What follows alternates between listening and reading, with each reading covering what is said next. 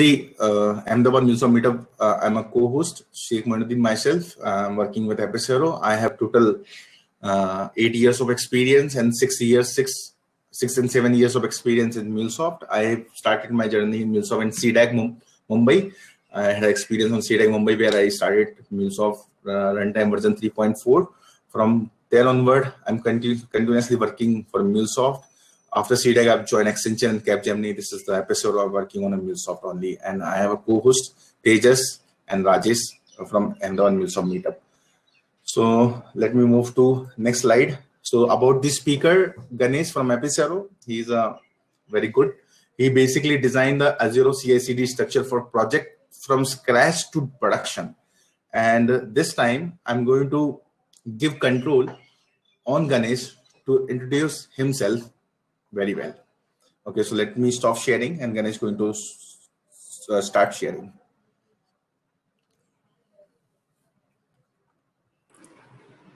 Thank you, Shekh. And thanks, second team, for giving me this opportunity. Uh, let me share my screen first. And so, are you guys able to see my screen? Yes, Ganesh. Yes. So let me go into presenter mode one second.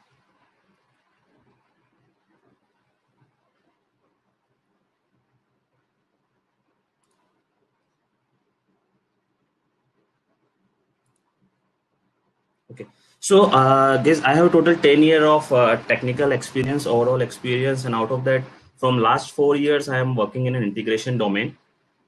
Okay, and uh, i have done you know uh, in the in the mainly this uh, uh last four years i work in the mule 3.9 4.0 4.2 4.3 all these uh, four version. And i have done the multiple certifications. So where i, uh, I have mentioned here like i have done the platform artifact cert, architect certification integration architect certification and uh, mulesoft developer certification. Okay. So let's move to the next slide. So our today's agenda is uh, here we will have a discussion around Azure DevOps using Azure DevOps. How can we configure the CI/CD? Because Azure DevOps is a very uh, big platform where you can do multiple DevOps activities. Uh, but in this today's agenda, we will cover only uh, CI/CD part. Uh, how we can, uh, where we cover everything's like uh, what is CI/CD, how can we configure CI/CD using Azure DevOps, and other things. Let's move to the agenda. So today we will uh, cover basically first what is DevOps and the CI/CD. Um, are you guys able to see my screen in the full mode, right? Or do I need to change the resolution? Uh, no, no, yeah, you can just click on the present mode. Okay. Yeah, we say go ahead. Thank you. Okay. So uh, today's agenda is we will cover uh, first the basic definition like what is DevOps, uh, what is CI/CD pipeline, um, where this DevOps will fit in our Mule API-led architecture development lifecycle.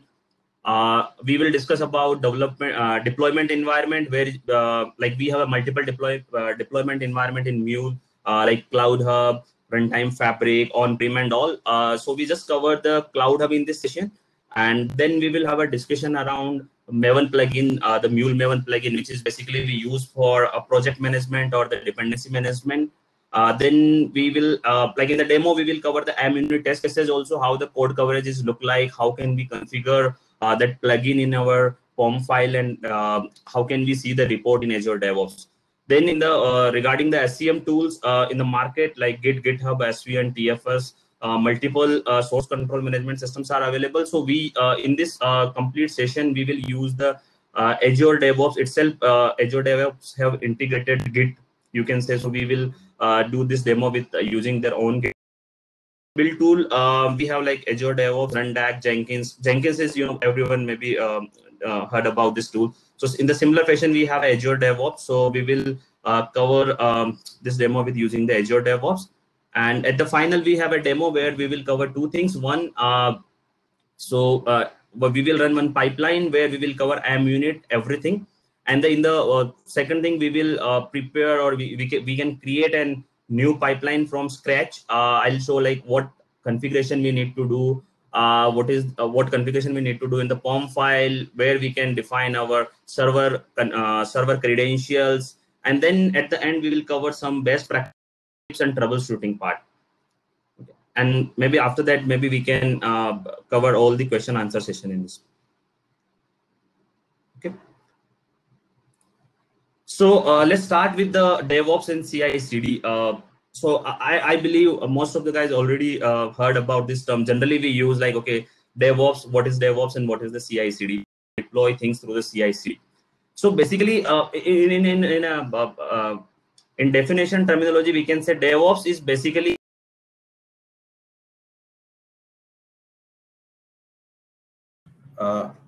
Ganesh, you're muted. And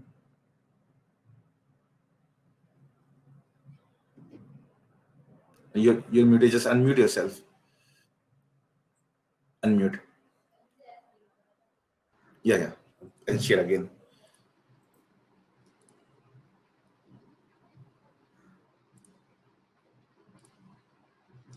Is it audible now? Check. Hello. Yes, yes, you're audible too. I'm sorry, guys. So, uh, sorry, uh, so I was uh, telling about the, what is DevOps and the CI/CD. So, DevOps is basically you can say it's a modern practice or culture where basically um, you can say the development and operations. Two teams will collaborate together and uh, we will try to deliver things as much uh, as fast as possible on the you know our production environment or you can say we can release the things on the market very quickly so basically it's a practice where we do these complete you know uh, after the development we will uh, uh, how we will run the test in an automated way how can we deploy the things on the uh, test environment production environment stage environment and you know release on the release in the market as soon as possible? So this is basically an automated and you can say the repeatable cycle. Combinedly we call it the basically a devops uh, methodology or devops uh, culture. What is a ci cd so basically uh, ci cd uh, contains the two terms. Uh, first one ci which is basically a continuous integration and the second terminology the cd so some people call it continuous delivery uh, sometimes we call it continuous deployment also. So uh, the continuous integration is basically you can say uh, it's just like it's a way uh, through which you can uh, develop a small piece of code.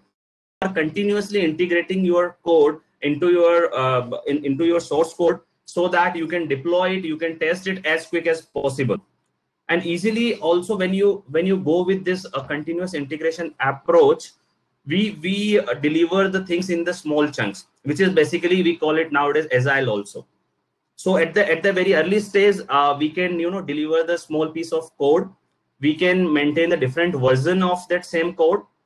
And basically why we need this continuous integration platform. So basically generally we see nowadays multiple developers multiple teams work on the same code right? So how can we maintain the uh, multiple versions how can we maintain uh, whenever we finish our code how can we merge that so that uh, testing team, QA team, business teams, other teams can utilize that code.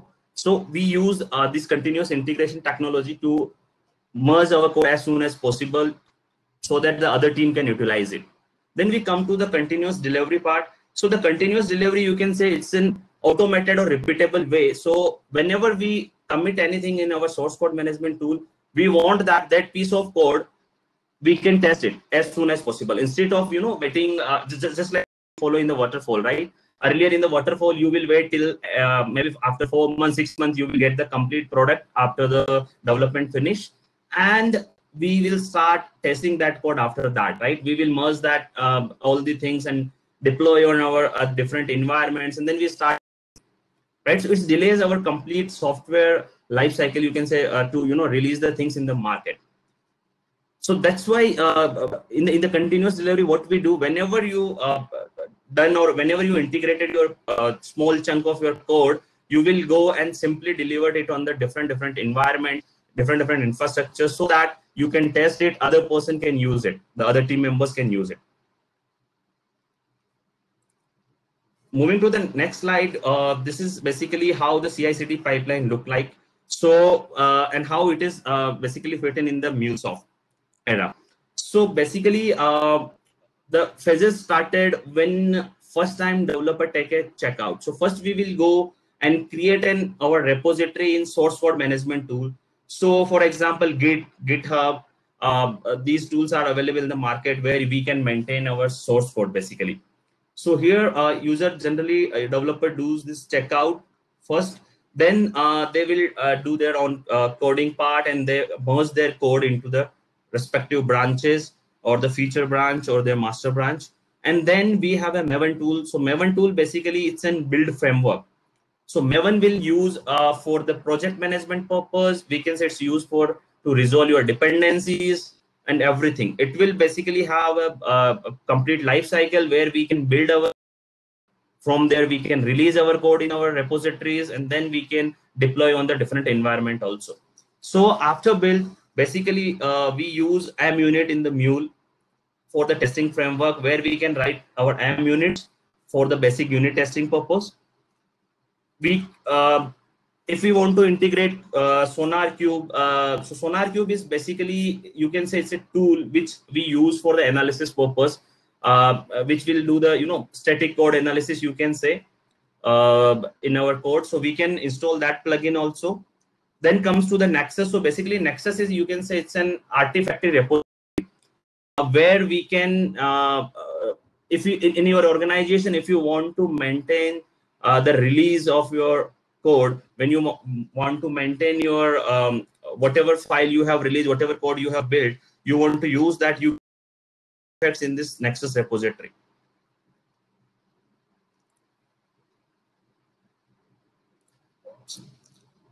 sorry uh, after uh, you releases that we can deploy this application on the different platforms different environments so in the mulesoft we have a uh, Anypoint uh, uh, runtime fabric. We use Cloud Hub for the deployment. We can deploy it in on-prem environment. So as I said, we are uh, today we are going with the Cloud Hub. So here you can say in the Cloud Hub, we can logging through this particular pipeline only the process, and we can deploy the application on the Cloud Hub. And after that, once the your particular pipeline is success or maybe it's failed at any stage, we can configure the notification also, and it will send an email notification to the concerned party and then uh, it stops. So this is basically the whole life cycle of CI/CD pipeline, or you can say the different stages that we can configure. So uh, what are the benefits we you know uh, get DevOps strategy or using the CI/CD? Because uh, we can do these all things manually also. Like we can run the MUnits, we can release the, our package, running the um, commands through our command prompts or manually deploy that but if we go with DevOps or the CI/CD strategy, what we can achieve from it. So first of all, you can say it's just like um, improve our customer satisfaction and experience.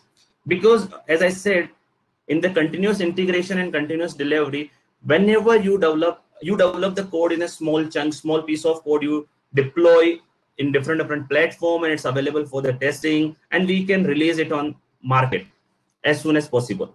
So it will improve our customer satisfaction because we are giving them the frequent deliveries okay? Chances are very high here to get feedback at very early stage from them and we can uh, very at the very initial stage only release those suggestions improvements and release the new build and as i said software release are less prone to defects. So basically at the very initial stage you know we are testing the small chunk of the code. We get the initial feedback. No need to wait for the after uh, like in the waterfall generally happens like after four months six month cycle when you deliver someone will test it and they suggest okay we this is not the correct you need to change it. This is uh, or the time of the requirement got changed so we need to do it. But here you are releasing in a small chunks continuous integration and continuous delivery so you will get uh, to know about the defects and everything as soon as possible. Then it's increase our development productivity also because after six months developer move to the different part of the code. He start deploy, uh, developing some other piece of code and then someone will say come and say okay uh, the code that you have uh, developed before six months right? You need to fix that. So basically there are multiple context switching you can say uh, any, any any developer need to go and check okay what exactly i have developed six months before and then i need to fix it right? So basically, when you uh, deliver the small chunk of the code using this DevOps or CI/CD mechanism, at the early stage you will get the feedback, at the, get the about the defects and everything, so you can fix those. and it will definitely increase your development productivity also. Then uh, as i said because uh, we can continuously delivering the code so we can focus on the new features also and it's also uh, decreases our you can say the testing cost. Because uh, at, the, at the very initial stage only uh, we are doing the testing as well as using the ci cd we can automate this testing also. As i as i shown in the previous slide previous slide we are uh, integrating the test cycle the unit testing cycle also and the code analysis part also as a part of ci cd process. So it will also decreases our testing cost overall and then we i can say it's, it's a higher employee engagement because the uh, development team operation team testing team they can engage very frequently. No need to wait for you know once you will develop the complete uh, product then only you will engage with the testing team or the other teams. So very frequently using the ci cd part and the devops mechanism we can uh, with the other teams also. And it's also basically decrease our uh, to release our project uh, our product in the market time to market is also very crucial in this moment. So it will also is that time to release our product in the market. So let's move to the next slide, which is uh, where this DevOps. Yeah. Before moving to the next slide, there are two questions. So I'm going to um, uh, uh, ask well, first Maven build happen, then MUnit. The test if test case fail, then the still jar file can be used. Yeah, so so in the plugin, we can configure if MUnit test cases are failed, okay, or whether the coverage is not achieved. Uh, what we want to do with this build?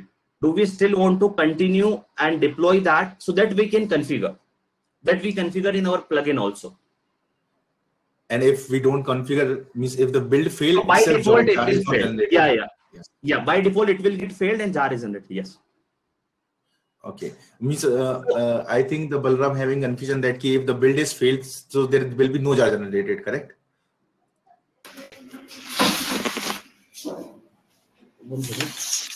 Yeah, yeah.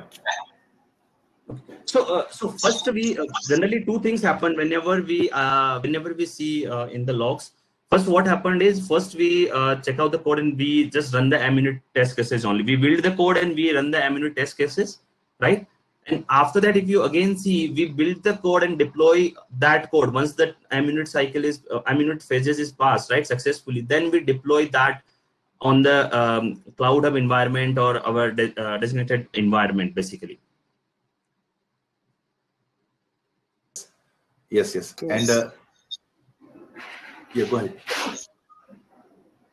Yeah, so yeah, so I was saying, yeah, so I was just adding on that that Maven is is is basically the set of goals, right? So it executes a set of goals yes. when it starts, right? So we have a set of goals starting from clean to compile to test to package to deploy to site, right? These are the six basic things. So so the the answer to question to Balram maybe is that the MUnit runs at the test cycle, which is basically before the package cycle. So if your MUnit fails, which runs during the test package, your that that runs during the test test package, then your package and deploy will not happen. So it is like this. So so as he said that builds happens then MUnit. So when we say when he says build dot jar, so build dot jar will only be created during the package stage. So definitely if MUnit fails you will not get a jar file or anything. It simply will fail and our process stop there. It will not go for further processing. Yes. thank you. Unless you specify the other way around of skipping the test or ignoring the error. Yes. Thank you abhay. Uh, uh, yes. Yeah and, and uh, one more thing as I, as I mentioned abhay, we can also even if your MUnit test cases are failed, right, uh, we can skip that also and uh, we can continue. Uh, it will move to the next stage. Uh, it will create your package and it will deploy also. That also we can do.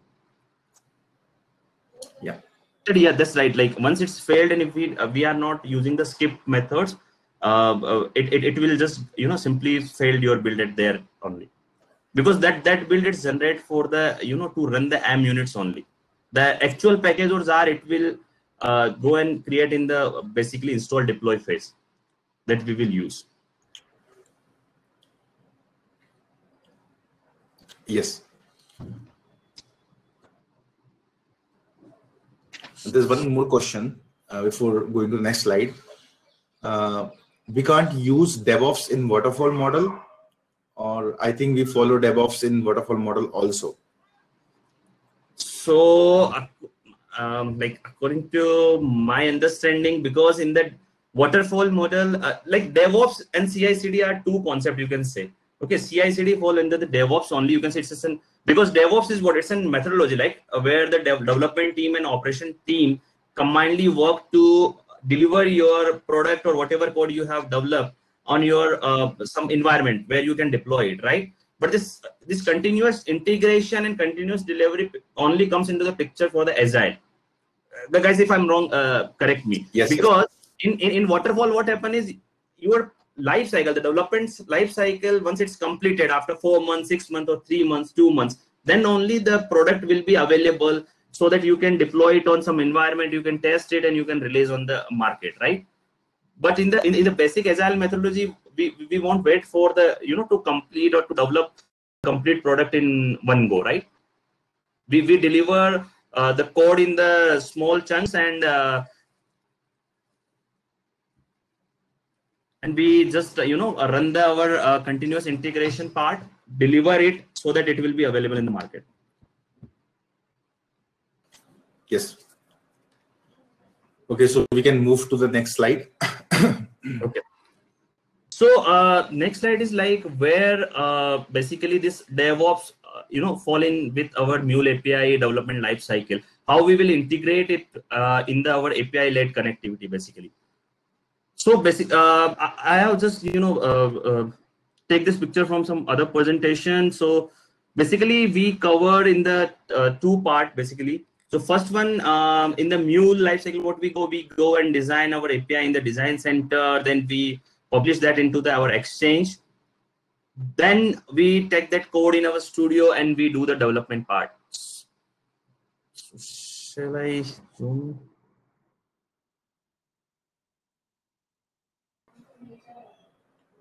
do i need to zoom in Shafi? Yeah, yes, uh, actually, picture is itself is not uh, kind of blurred. If you can zoom it, let's see what will happen.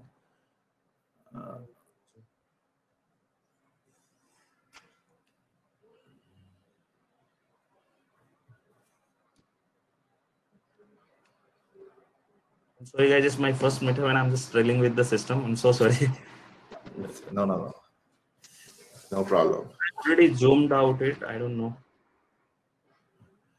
Uh, so actually, uh, can exit from here? Yeah, in the Chrome, just click on the vertical three dot. Uh, vert- vertical three dot. No, not this. Mhm. And the zoom, click on zoom 100% just increase, increase. so yeah i have done that only actually No, no, no. It is especially for this only. Yeah, and just reload and reload. Uh, just just increase that to uh, one se- 150 or 125. Just increase to one. Yes, one know. 25 or no increase to 125. Okay, and and close the no no, yes and close and uh, present again. That's it. Present again. Now. is it better now? Uh, yeah yes it's yeah yeah it's better. You can see that. Chef is it better now? Or maybe i think i can share this picture with everyone. Okay. Uh, so I think- uh, you can go ahead ganesh. Okay, so we are discussing like where uh, this DevOps or CI/CD uh, Mule API development phase where we can integrate it. So uh, if we start with the Mule development, generally we follow the practice that uh, we design our API definition, then we publish that in our exchange, and then uh, we take that code in our studio and we start uh, doing the development for the same. Right. So once this development is done, uh, basically uh, the development is done or we have started, uh, we need uh, you know source code management tool where we can manage our source code somewhere at the remote location or in the cloud hub, you can say. So here we manage our source code where this Git, GitHub and other tools come into the picture where we manage our source code in the source code management tool.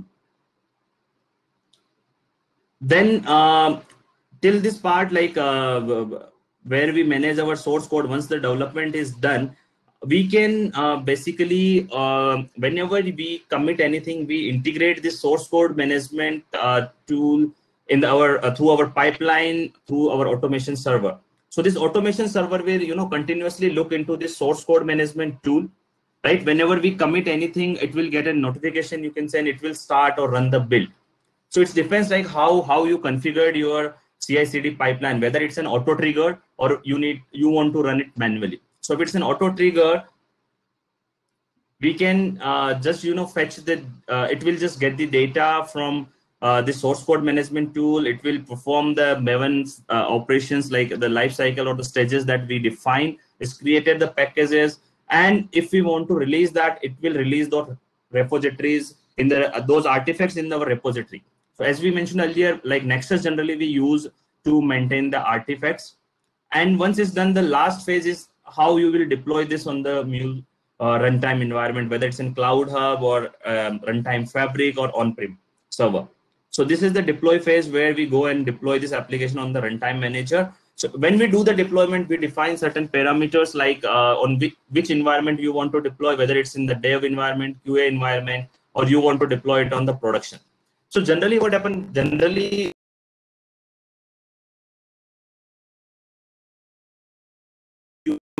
we can go process you environment or QA environment. Sometime uh, people follows the you know manual intervention to release uh, you know anything on the production environment. So release manual intervention means like we can configure some sort of approval process here. So the concerned stakeholders will get email or uh, some any kind of notification and once they will approve that pipeline then only it will go and deploy the code on the production environment. Let's come to the second uh, image. So basically what devops decide when we do the complete development part or in the different environments how can we segregate that? So you can say uh, we deal with just like an uh, basically get uh, in the release management, we define the different different kind of promotion gates, which is controlled by our CI/CD process or the DevOps process. So once, let's say, for example, you're done with your development part, you merge into the source code management tool. It will build will run. It will deploy your code on the dev environment, so you can perform your unit testing. We can check the our code coverage, right? We can run our MUnits and we can perform uh, uh, not the complete integration testing, but we can do the smoke testing here. So once it's passed all these things, then only it will clear this quality gate and it's moved to the QA or our test server. So when you come to this QA or test server, then our QA team or the tester, functional tester will do the complete functional and integration testing. They perform uh, the regression testing also.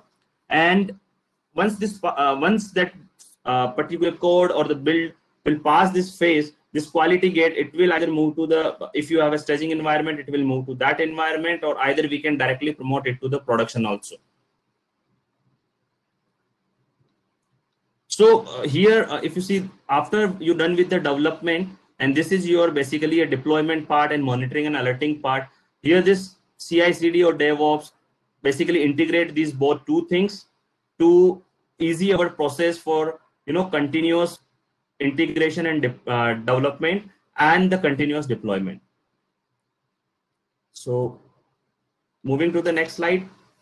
For the deployment purpose, we uh, use basically in the Mule, we have an Anypoint runtime fabric, we have an on-prem server and Cloud Hub. So as I said here, uh, we will go with the Cloud Hub server. So if anyone is not aware, uh, we can go on this link and we can create our uh, account which is promotional for the 30 days. You can get an account which is uh, you know used for the uh, to deploy your application on cloud hub to play with the access management. You can do the all other operations also.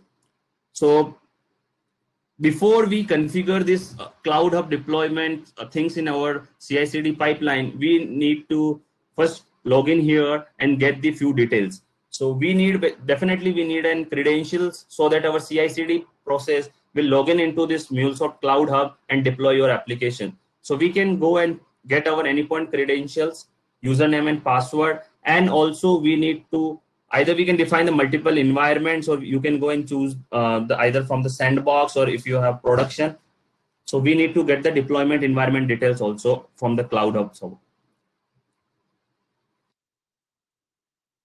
let's come to the next part, which is uh, Maven. So basically, Maven is you can say it's, it's a widely used tool uh, that we use for project management utility and for the dependency management also.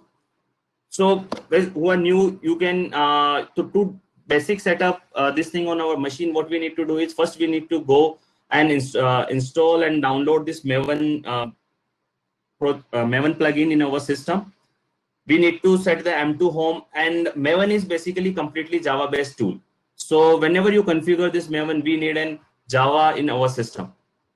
So in our uh, this demo, we are using the Java 8. So Java 8 is already installed in my machine. And once you install this, download and install this Maven into your system, we need to set an M2 home, which is nothing but an environment variable. So we can go in our uh, system environment variables and we can configure the M2 home. This is nothing but you can say a location of this one project executable jar file. Then what are the built-in functionality that Mule provides in of the Maven? So if we, if you see, I have mentioned here the Anypoint Exchange, Studio, Runtime Engine, and installing third-party jars. So where we uh, where we use this Maven in Anypoint Exchange or uh, where the Mule provides this built-in feature. So if you go to the Anypoint Exchange, whenever we develop our API in the design center design and we publish into the exchange that when we publish the uh, any code into the exchange, exchange will also show you the dependency management tree. So there you can go and see all the Maven dependencies that are using in your code. In Anypoint Studio, when we use uh, generally Anypoint Studio, all the version of Anypoint Studio have their inbuilt Maven plugin also. If you want, you can use the external also you just need to go and override the uh, existing configuration. You can use your own machine maven configuration also.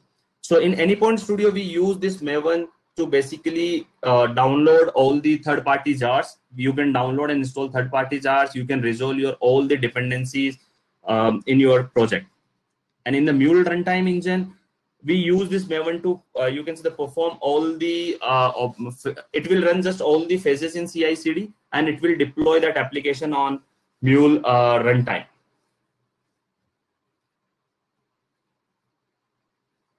Then in the Maven, basically, uh, Maven itself have its life cycle where we have a multiple uh, phases in each uh, life cycle. So basically, Maven supports three life cycle, and which is the default, clean, and site. So basically, default is you can say uh, it's basically the first most or the main uh, life cycle, which is basically responsible for our project deployment. So in the default life cycle itself, we have a multiple phases described in the next slide. So default is basically it's a, a type of life cycle you can say where we follow the multiple steps and using those steps we can run the, our MUnits we can uh, create our package, we can release that into our Nexus or any uh, other artifactory, and then we can deploy it on our any environment. Then uh, the other uh, life cycle is the clean. So basically we uh, use this phase so that we can delete or remove all the files or artifacts generated in your previous build. Then we come to the site part. So basically this is used for the documentation purpose to create your uh, project documentation from your code. So these are the three basic life cycles generally we have in the Maven and uh, mostly we use the default life cycle. So here are the basically if you see we have different phases which you know bind with the default life cycle. So we have validate, compile, test, package, integration test, verify, install and deploy. So basically uh, this validate, compile phases are used to just validate your code and make sure uh, it will just run and make sure that your code there is no compile time error in the test part, uh, we can run unit testers or JUnit. Then in the package part, it will create a package of from out of your code, and we can run the smoke integration test also. Or if we have any other script, we can run the complete integration test also. Then it will just verify the package that we have created once, uh, once the integration test or smoke test cycle is run. And then it will just, uh, if you want to uh, release the uh, artifacts, we can release in the this phase. And then we can uh, finally go to the deploy part where we can deploy this code on Cloud Hub or Runtime Fabric or on-prem based on our deployment plugin. So if we just want to run these all phases, uh, all these eight, uh, you can say the phase in your default lifecycle, we can run the maven deploy command and it will run everything for you, starting from validate to till deploy. If we just want that, okay, we don't want to deploy it, we just want to uh, create a, a, package out of uh, our code and we just want to install it. Install means we just want to release it on some artifactory, we can run the maven install command. So it will just execute all the commands starting from validate till the install one. And generally uh, below are the basic commands, basically maven clean install and maven clean package. So basically this clean command we use so that once you install the package or once you, once you install this uh, package or you create a package or install this in the Nexus, you can clear out all the things so that when the next build will run, it will run on, it will take a fresh checkout, it will create a new build and it will follow, it, it won't refer any old build uh, artifacts or anything in that machine. So basically we use this clean command to do this thing. let's come to like uh, MMP stands for basically you can say the Mule Maven plugin. So what we exactly need to configure so that we can deploy our application on Cloud Hub using MMP tool. So basically we have a four strategies that we use to automatically on Mule. For example, we use Cloud Hub. Either you can deploy your application on Runtime Fabric, either you can deploy your application on on-premise server or on-premise Mule instance. So in on-premise Mule instance, there is a question. Uh, there is a question. Uh, so do we require a separate build server if we use Maven? Builds no Maven itself uh, do it right. Maven itself yes. have those uh, capability to build your code. And basically, the Maven is running in inside the uh, embedded Mule server. Yes. Embedded. Okay. So there are and two things. Yeah. Yeah. Go ahead. Go ahead, Ganesh. So basically, Maven will do all the things for you, right? Maven will create. Uh, basically, it run the. Uh, we have a different phases, so it will just you know check the compile time error it will run your unit test cases it will build it will create a package for you if you want to release that package it will go and release on your repository nexus repository or any artifact in your other repositories also and after that you know it will just go and deploy your application on your uh, uh, any cloud hub or on prem or any server as you define okay and there's one yeah. question from vishnu is there an internal maven repo being used the Maven repository. Uh, you mean .m2, just like we have in on your local machine? Vishnu? Correct, correct, correct. So basically, uh, yes, yes, yes. A... So internal, internally also. Sorry, not when, yeah, yeah, Vishnu. Sorry, go ahead. Yeah, not M2. M2 is local. I understand that. I was wondering if, if you're using a a repository in within your organization to store third-party libraries. Yes. Nexus. Okay. So that that is the Nexus, right? Nexus. Yeah. So okay. Okay, no, like different organizations prefer to use different repositories for storing the deployable artifact like the .zip or .jar mule files and different repositories to store mule libraries. So I was wondering what, what did you guys follow in your uh, project? Yeah, so uh, like uh, uh like I have like, like as I said, I have mainly worked with the Nexus only.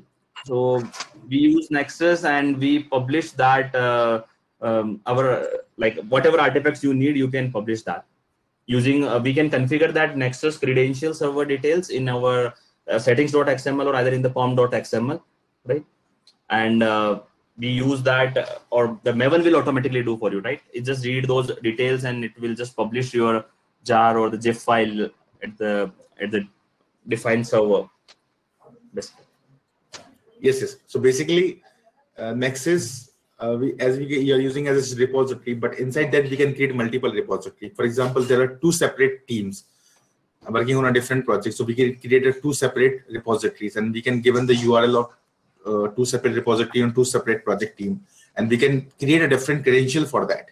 So they can use a separate repository in a single Nexus. That.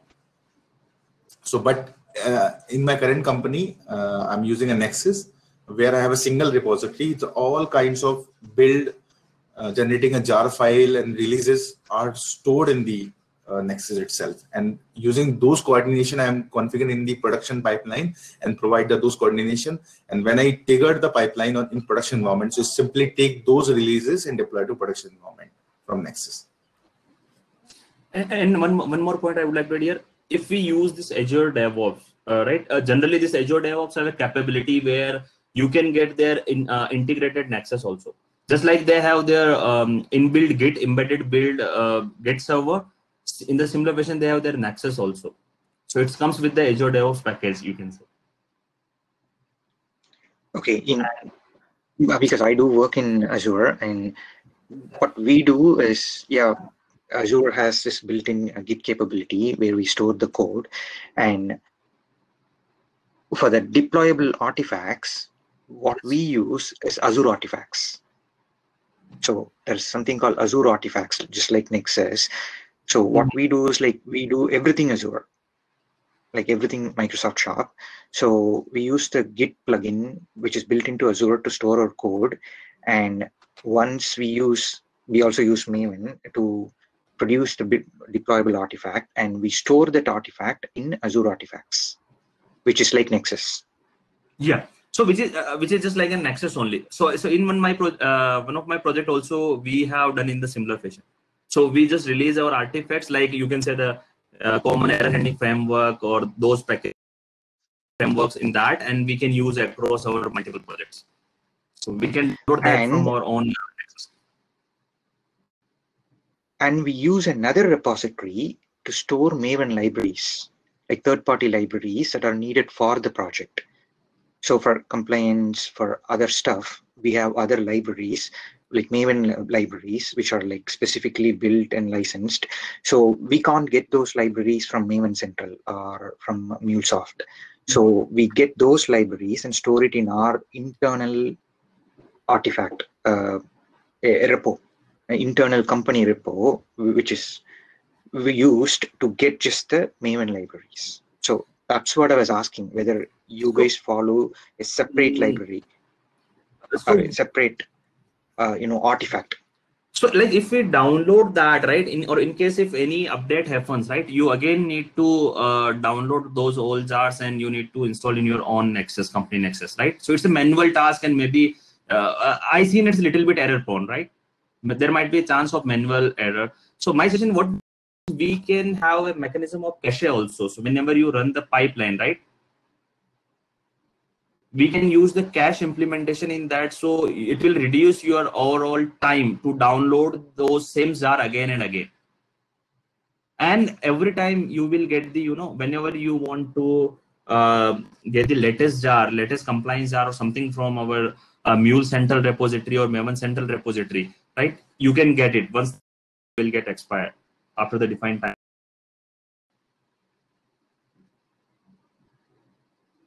So, so you are Vishnu, you are using okay, that uh, just for. Okay. Yeah. Yes. Go ahead. Like you have a question. Just like you guys are using that uh, just to reduce the all uh, download time, so you can refer from your own third party uh, that uh, you can start from your own again again from center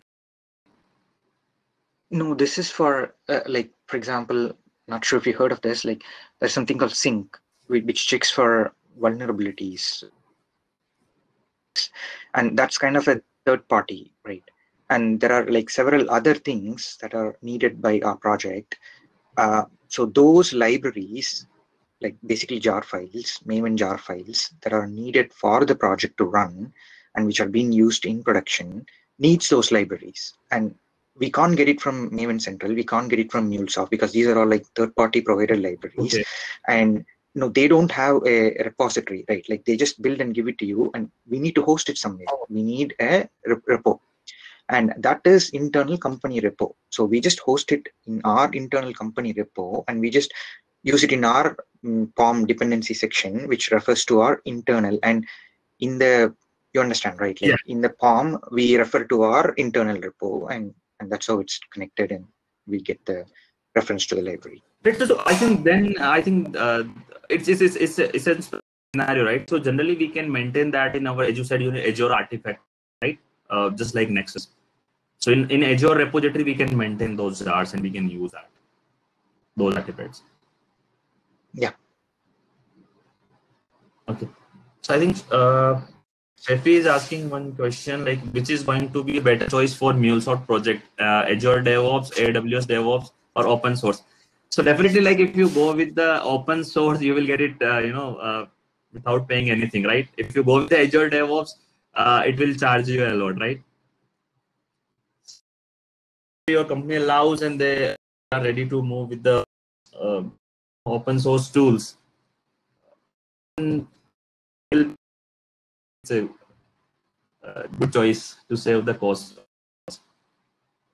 Because for Azure DevOps, Microsoft charge a lot.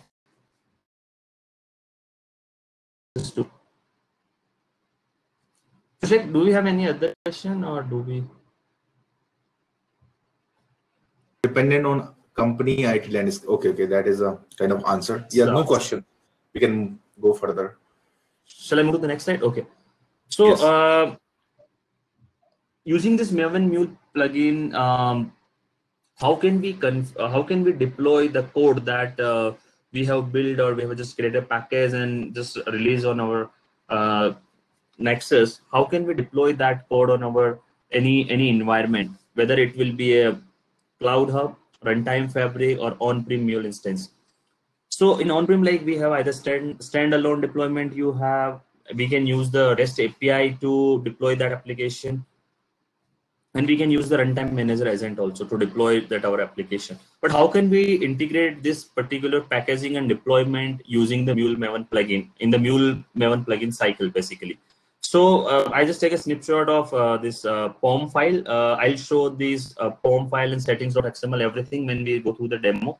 So for the mule we have a, a plugin defined uh, mule maven plugin so in that Mule Maven plugin, we need to uh, choose first, uh, if you want to deploy on Cloud Hub deployment, you need to define the Cloud Hub uh, settings credentials here. And if you want to go with the runtime fabric, corresponding to runtime fabric, you need to configure all these properties here. So you see in the Cloud Hub deployment, we define it's just an optional parameter. So you can pass uh, either this https slash anypoint mulesoft.com, uh, our server details, uh, and it's an optional. If you don't pass it the default value remains the same. And these all details like uh, available on our uh, MuleSoft document so, so in the last section I have uh, included uh, in the last slide I have included all references also. So there they have defined uh, how can we configure this for runtime fabric uh, on the on-prem deployment and for the cloud hub deployment. What are the parameters and properties we can configure? What parameters are optional and what are the mandatory? So if you see the URI just an optional parameter, then we have a mule version, uh, username, password, then application name, environment, region, workers, worker type. So these are the parameters that we need to, uh, we can configure in this plugin. And as you see, I have mentioned here like dollar dot app dot runtime. So uh, we, we can make them dynamic also so that when our pipeline will run, we can provide these credential at the runtime.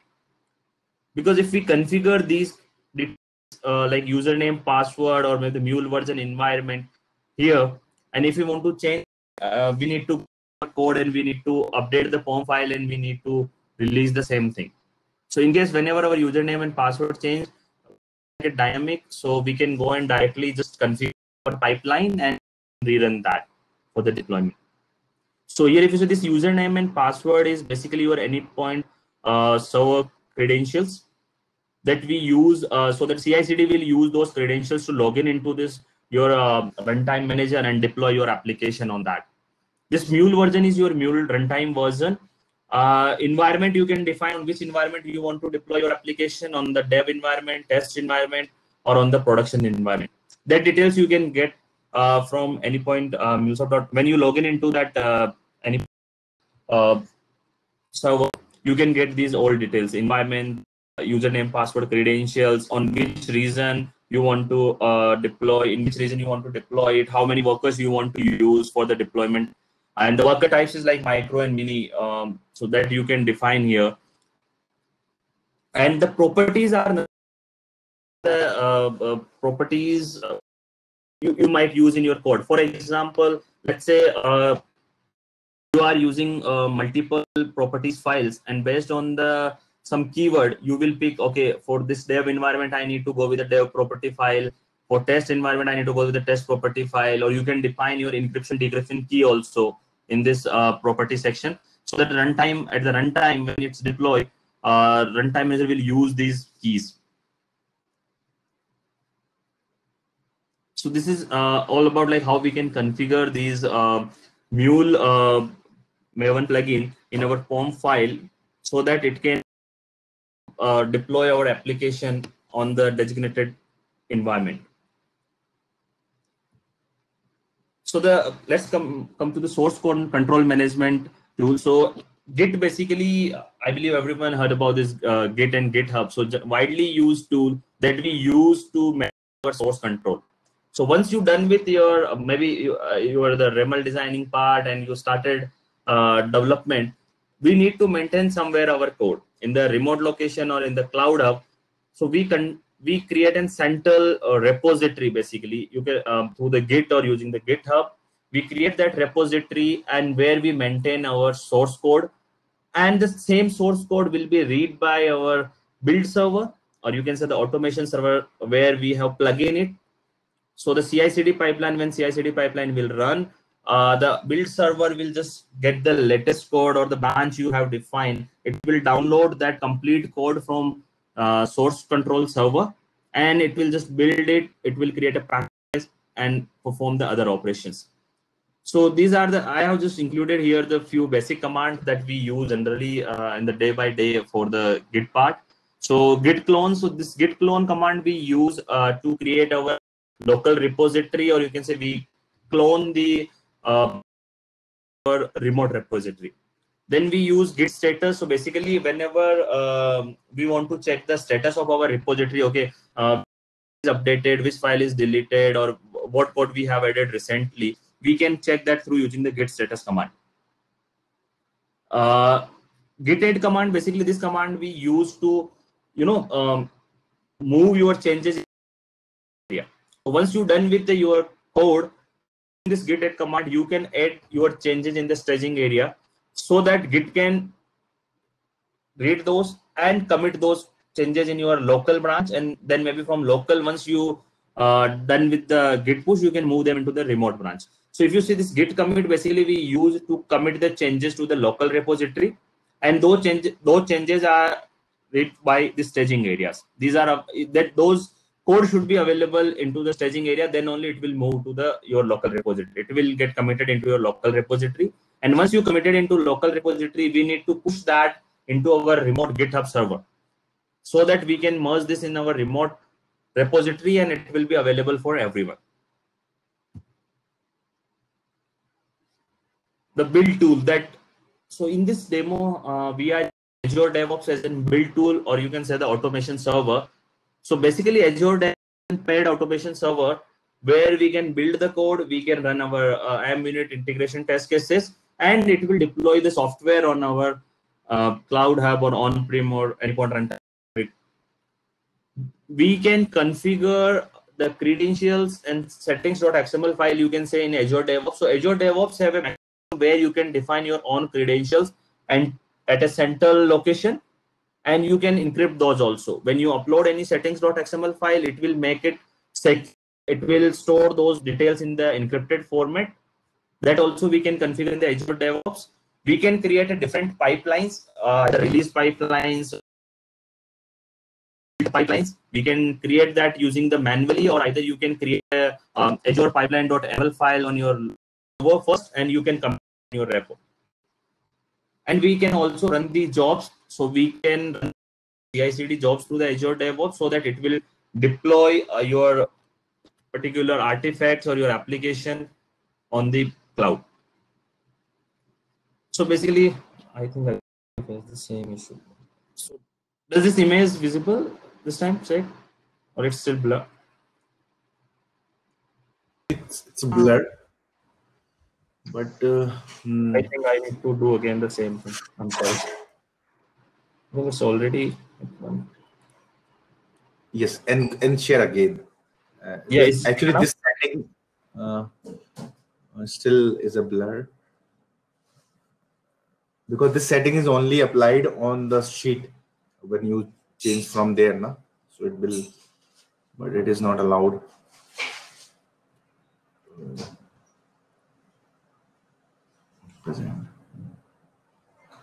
How done? Is it better or still? It is actually blurred. But uh, can we copy this image or paste it in the somewhere? Uh, in the chat, do can I post it? No, no, no, not in. Actually, in the uh, uh, in in Paint or something where we can zoom in. Sure, sure, sure. Uh, let me know. Like copy the image and paste it in the Paint. Yes.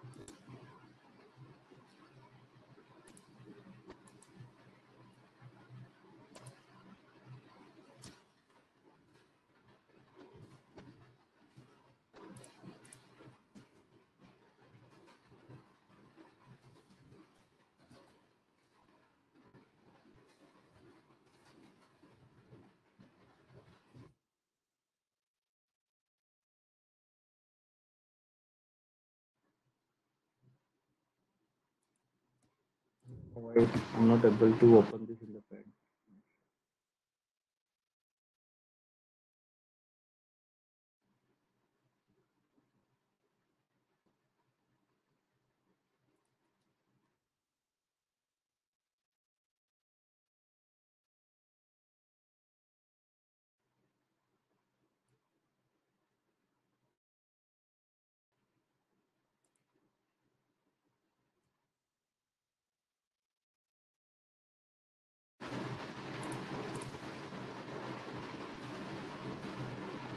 No, I think it's still blurred. It's still blurred, right? See? Even I zoomed in here. Yes, it is. Mm.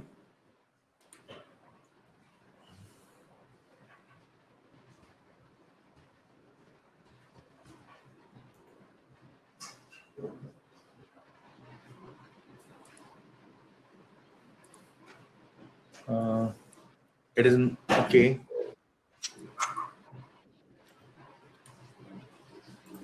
Yeah, I think I think this image got blurred. I think Already blurred. blurred. Yeah. Okay. Uh, I'm sorry, guys. Maybe maybe I can just explain it, and maybe uh, you know uh, uh, at the end maybe we can share this slide. Uh, is it okay? Share share with everyone? Yes, yes, everyone. We can later we can uh, uh, uh, change this image, and it- you can explain me like uh, uh, like verbally, like in this point, this has happened, kind of that. Yeah. Because it is still we Yeah. can do that. Yeah. So it's, it's a basically uh, it's a very basic image. The it just covers the functionality that we can do in Azure DevOps. So I'm so sorry, guys. In, in my machine, it's it's showing me clearly, but I don't know when I'm presenting, it's showing uh, in a blurred way. So Yeah, I'm no so sorry problem. about that. But but this basically this diagram covers like uh, how we can use Azure DevOps to uh, create the pipelines, uh, the different types of pipelines, and how can we run all the Maven phases and we can deploy it on the different environments. So here, if you see, we we are using just like Anypoint Studio for the development, and once we're done with the development part, we commit our code on uh, this. Basically, it's an Azure DevOps repo. So in this diagram, I have used Azure DevOps repo because in the demo also we will use the embedded Git. Uh, you can use the third uh, other action any source code management and commit the code we have a different different pipelines which are running. So this particular server will continuously uh, looking into the code. And if you have an uh, you have configured this is an auto trigger pipeline it will go and it will basically download your source code from this particular repo. So if you see here we have a develop server we uh, developer server test environment and the master environment master branches basically.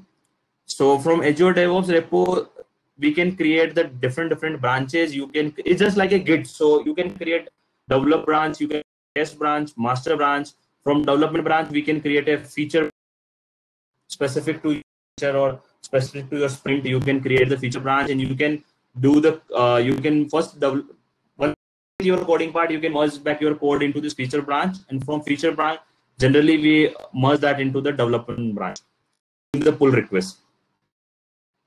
So once you uh, basically it's just an repository structure like we can create a multiple repos and we can merge that code uh, in our respective develop branch test branch or master branch where we have integrated or where we have uh, defined our build pipeline. So once we commit that code what happened is the build pipeline will automatically run. It will pick that source code control management tool. It will generate your build artifacts which is like a jar file. Okay? And there are two things in azure devops. So in azure devops you can directly create a pipeline which covers all the phases of maven like till deploy part where you can create your uh, build and you can deploy that on your cloud hub as well as you can divide this into two part. One you can create a build pipeline. One is the release pipeline. So the pipeline we just build the artifacts. If you see uh, here in the diagram we are creating through the build pipeline. We are just creating a build artifacts which is nothing but a jar file we are generating here. And from this jar file we have a release pipeline. So basically it's an input for that release pipeline. So this release pipeline will automatically uh, once this jar file is generated this release file will pick that jar or artifacts and it's deployed to the other servers. So if you guys see here in the uh, uh, in the development environment pipeline we are not using any approval process. So in azure devops we configure the approval process also. So before releasing that on test environment or the production environment we can introduce an approval process and once we get the approval from the concerned party or stakeholders then only it will trigger to deploy that code on the test environment or production environment. So these all things like can do using the azure devops tool uh, when we configure the ci cd pipelines it's a demo time so before we moving to the uh, demonstration part uh, like if anyone have any question we there is one question. So apart from cost factor suppose uh, we forget cost factor. So any pros and cons of using azure devops? Pros i think like we you can get all uh, like uh, everything embedded there like git server no need to use uh, like configure with the any external git server. You can um, you have inbuilt source code management you can get from uh, within the azure devops itself azure devops is just not only for the ci cd purpose. You can uh, maintain your uh, sprint details your jira board everything there. Uh, as vishnu mentioned uh, in the azure we have their own uh, artifact library just like nexus. So we can uh, use that also. Any cons? Cons I seen like the cost factor is the biggest one because definitely Microsoft charge a lot, no doubt. But if you are using everything, the Microsoft products only, right? You can go with that. And Azure DevOps uh, definitely uh, like internally they have a lot of um, embedded things you can use. Uh, so no need to you know uh, plug in the uh, other other uh, or no need to take any other license. I can say you can get everything in one package from Azure DevOps. Yes, one point solution for CI/CD or DevOps, we can say. Yes. I think one more question we have, Shekh here. Yeah, uh, from Manisha. Correct me if I'm wrong. Azure DevOps and TFS both are same.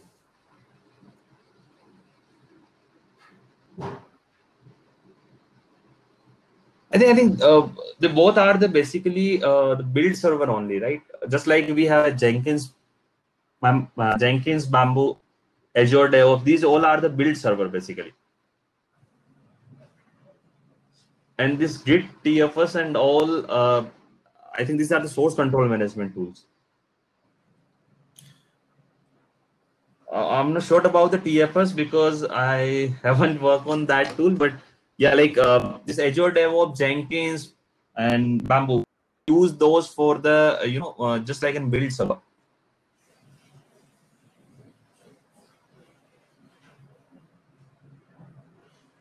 Okay, and Vishnu given answer that uh, TFS has limited functionalities compared to Azure DevOps. Yeah, so this is around like code repo, just like in Git tool where we maintain our source code basically.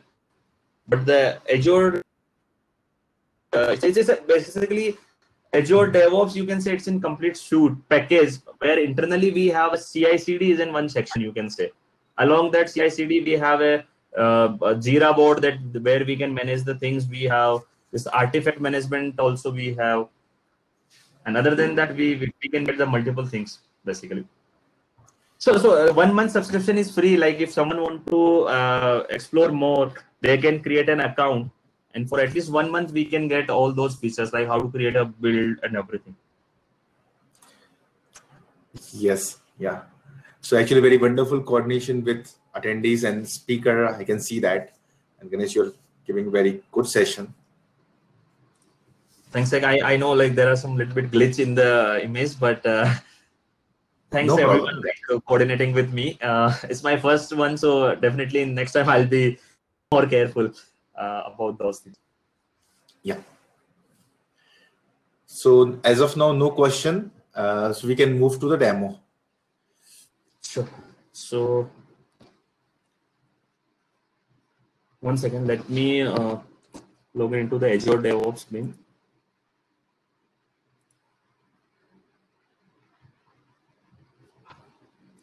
Okay. So uh, I think first I'll uh, explain like what we cover in this demo part basically.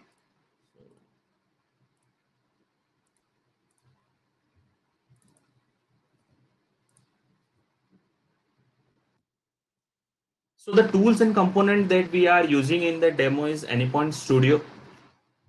Uh, so uh, for this demo purpose, I'm just using the Anypoint Studio 7.3.5 only. Uh, we are using the Mule Run version 4.2.0 and uh, Mule Maven plugin that we are using to configure all our uh, Cloud Hub plugin. And uh, I have already created an Anypoint account, Cloud Hub Access account for deployment and noted down the credentials. And also we need an so I have created just one month free subscription and uh, where we have access to create build pipelines and we can see the MUnit reports and everything. So in this demo, basically we cover two things. One, first we will uh, uh, create a new pipeline. Okay, we commit uh, the. I have already built a Mule project, very simple Mule project. So I should um, I'll um, just hit that endpoint and see what is the current output, and then we change that output. We change something into the code. We commit that and see how automatically it will run, and uh, then we again verify the final output of that same REST API also i have got um, when we run the MUnit where we can check the reports um, configuration we need for that. So that section we covers in the tips and troubleshooting part. So let's go to the first uh, section. So we need to log in into the DevOps server. Basically, so I have already done it and we are in that. So you can go to the Dev, uh, DevOps part and you can create your own account for 30 days it's free so you can create your own accounts once you created uh, we can create our own organization so i have created this um, with my name ganesh Nyathi 28 the default organization. You can add the multiple organization if you want here uh, with the using the new organize organization options. And here if you go to the project sections you can create your own repositories. So basically repository which is can create multiple projects under this one repository sections. So when you go to this one,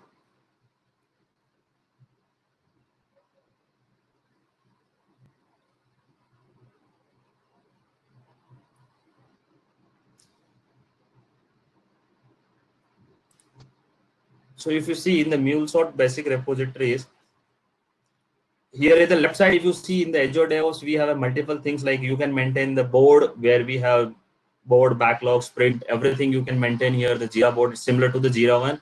We can create our wiki pages also where we can define our uh, you know uh, documentation or project related information. So today we just uh, you know covered the repo and pipeline in this session. So let's we go to the repo part so if you see i have created two repos here azure CI/CD demo and azure CI/CD demo basic so in this demo part we have um, pipeline is already created which covers the unit sections, the code coverage and everything. So I, will go through that file, like what plugin we need to configure to include the unit things. And this is the best demo basic part. Uh, in this live uh, in this repo, basically it's just an hello world program. And uh, we have configured the POM file and all the things here. So in repo, you can create a multiple branches. So here, if you see, if you go to this branch, we have just created the default one branch only. So which is the main branch. Go to the repo and branches, you can see. So here uh, we have just created only one main branch. You can create the multiple like development branch, test branch, and the master or the release branch. You can configure here. So just for demo purpose, we have created the default one, which is the main branch this branch when we configure the pipeline so that when we configure this it will get auto trigger whenever someone commit in code into this branch and uh, these are the things like we can make a pull request we can create a tag uh, from our um, this particular branch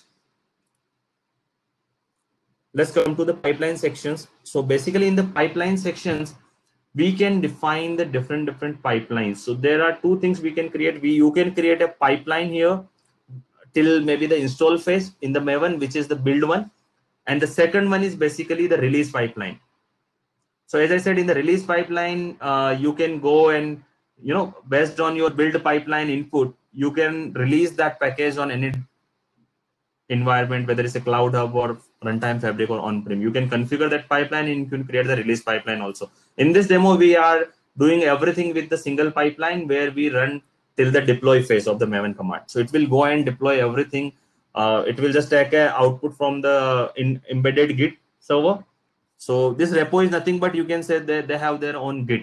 So Azure DevOps comes with their embedded Git server. So we are using this repo only. We are not using any external Git if you want we can use that also and we can uh, i'll show you in the when we create a pipeline where we can attach the external git repository also. So this is all about this tool. Uh, let's quickly the our uh, anypoint studio to see the code. So i have just created a sample uh, are you guys able to see my anypoint studio also right? Okay. yes. Yes ganesh. So this is the basic project i have created nothing fancy. It's just an uh, I think hello world program which uh, just written the uh, when we hit it. Basically, Azure CI/CD basic demo it will return you as a message. So in in the uh, Azure DevOps, whenever we create a pipeline, there are two way through which we can create a pipeline. You can define Azure pipeline ML where you can write your own commands, everything.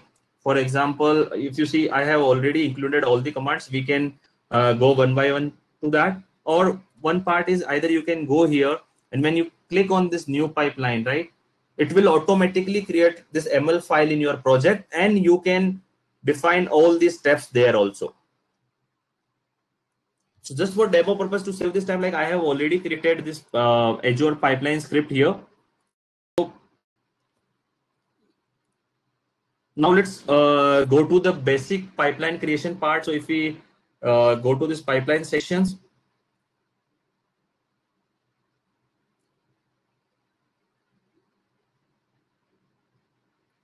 uh, you can go here, you can click on the new pipeline.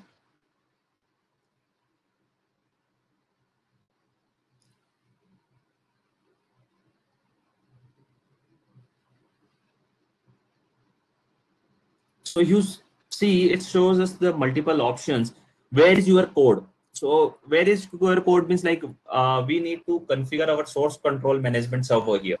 So if you see, we have an option of Azure Repo Git, which is nothing but their uh, internal embedded Git, which is comes with the Azure DevOps.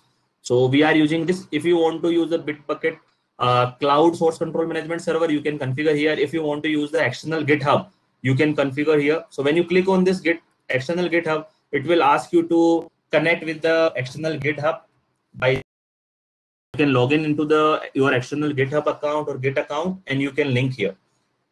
So if you so it's, it's, it's redirecting us to the external Git.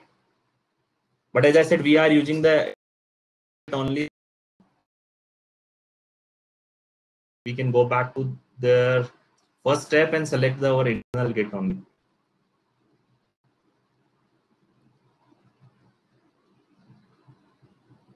So I already linked the external Git also. So it's showing me the all the multiple uh, repository which are available in my public Git account.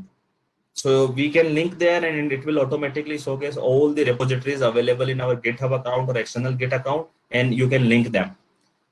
But as I said, we are using just uh, internal Git. So we can go to the pipeline section again, click on the new pipeline.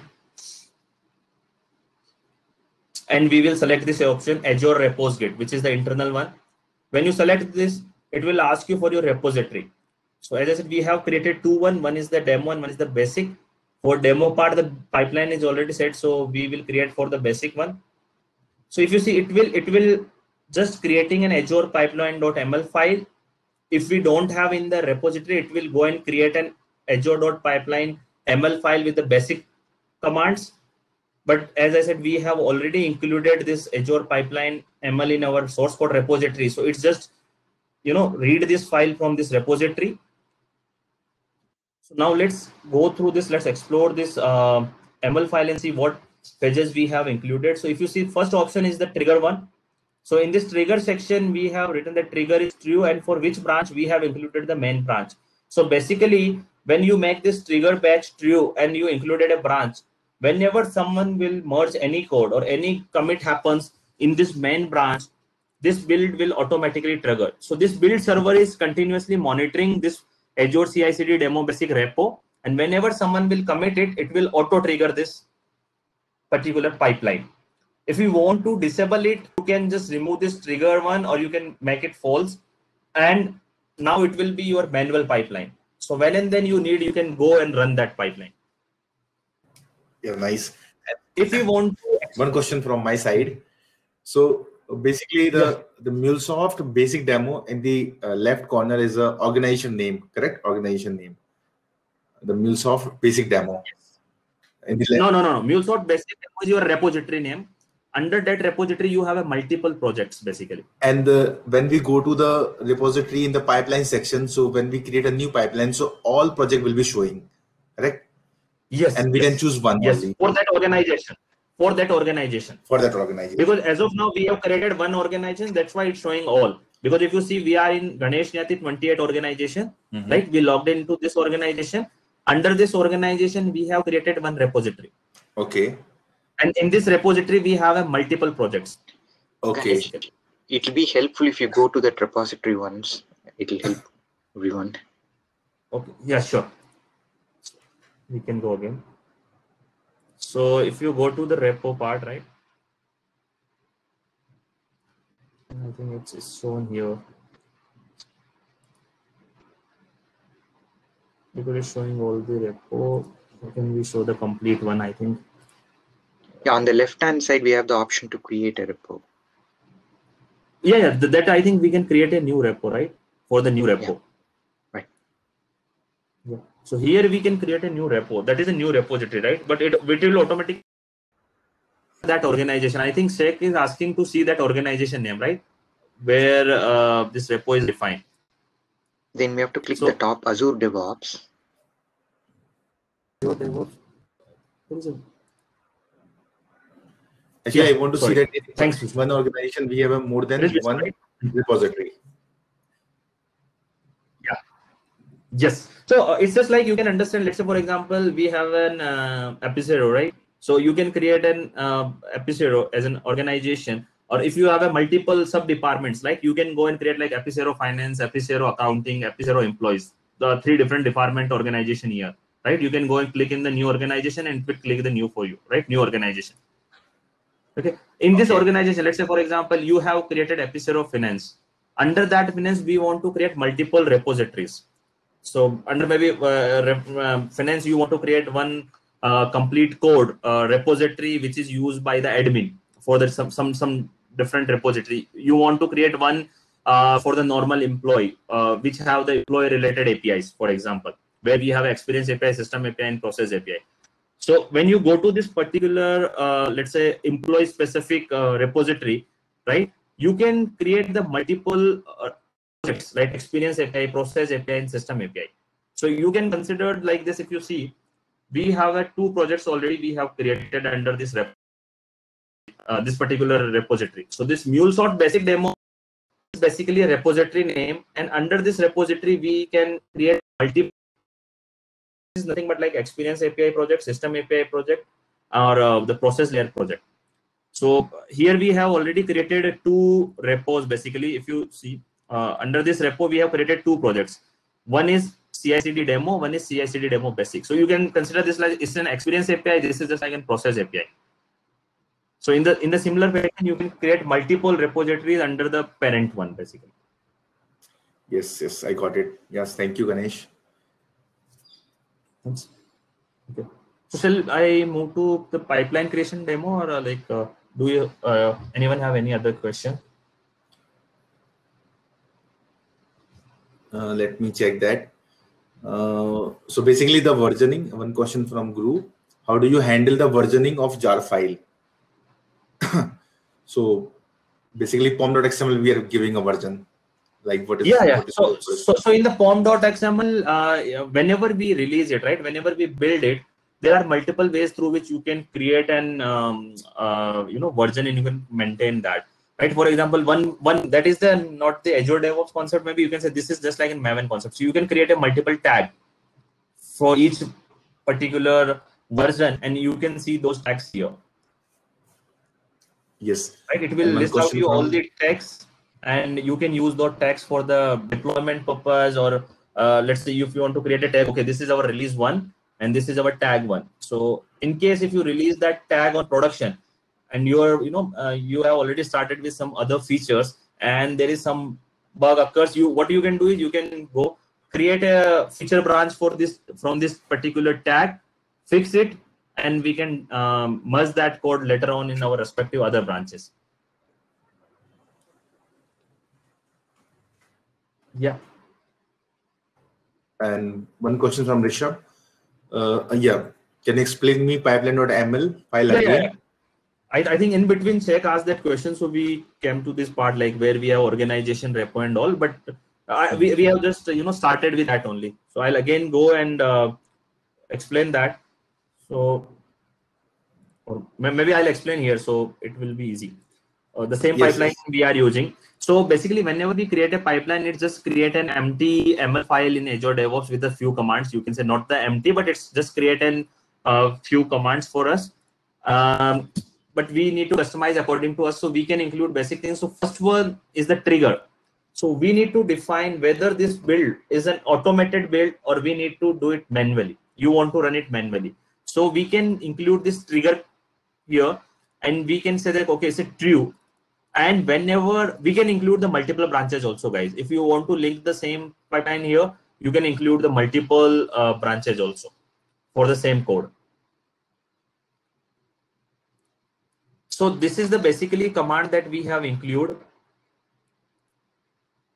And here, if you if you want to exclude a few things, let's say for example, someone is changing in this ML file only right, at, any stage. So no need to run this uh, job again, right?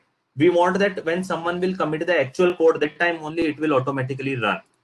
Or is if you want to exclude the POM file also, so just, just demo purpose, I have uh, included this tag basically. So if you want to exclude few files, like we are changing in some example file or something, we can describe here.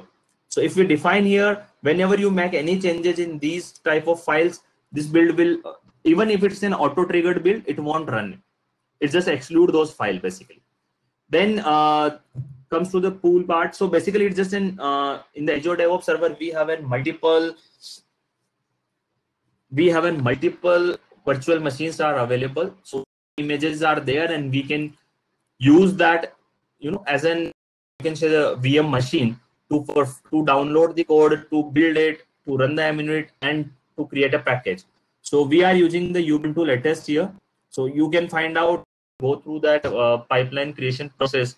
Uh, we can define Windows also. We can choose um, Macintosh uh, Mac system also. You can choose. So I have uh, here chosen the Ubuntu latest. Then it comes to the variable part. So basically, these uh, it's an interesting area of uh, variable parts. So we can configure the multiple variables. We can define the multiple variables in the Azure DevOps environment itself, and that can be, you can say, reusable across the multiple build pipeline or across your different projects. So at the global level, we can define those variables. So once you define those deploy variables, we need to define them in pipeline. Basically, we need to refer them so that for example you want to define the your client credentials or some parameters like environment the encryption key so you can define those in the uh, variable so I, will also showcase like when we go through that uh, ui screen for the pipeline creation i'll show you where we can where we can define those variables so basically you can say these just like our local variables basically specific to that program just like we have our uh, normal variables in the mule like as I said, we will cover the cache also, like how we can implement the uh, cache in pipeline. So I have just created one variable which is uh, name is the Maven cache folder. And as we have, you know, dot .m2 folder in our local Windows machine, right? When we run any Maven command, those libraries will, uh, the jar files or libraries will be downloaded and we can, you know, easily uh, see those things in our local machine into .m2 folder.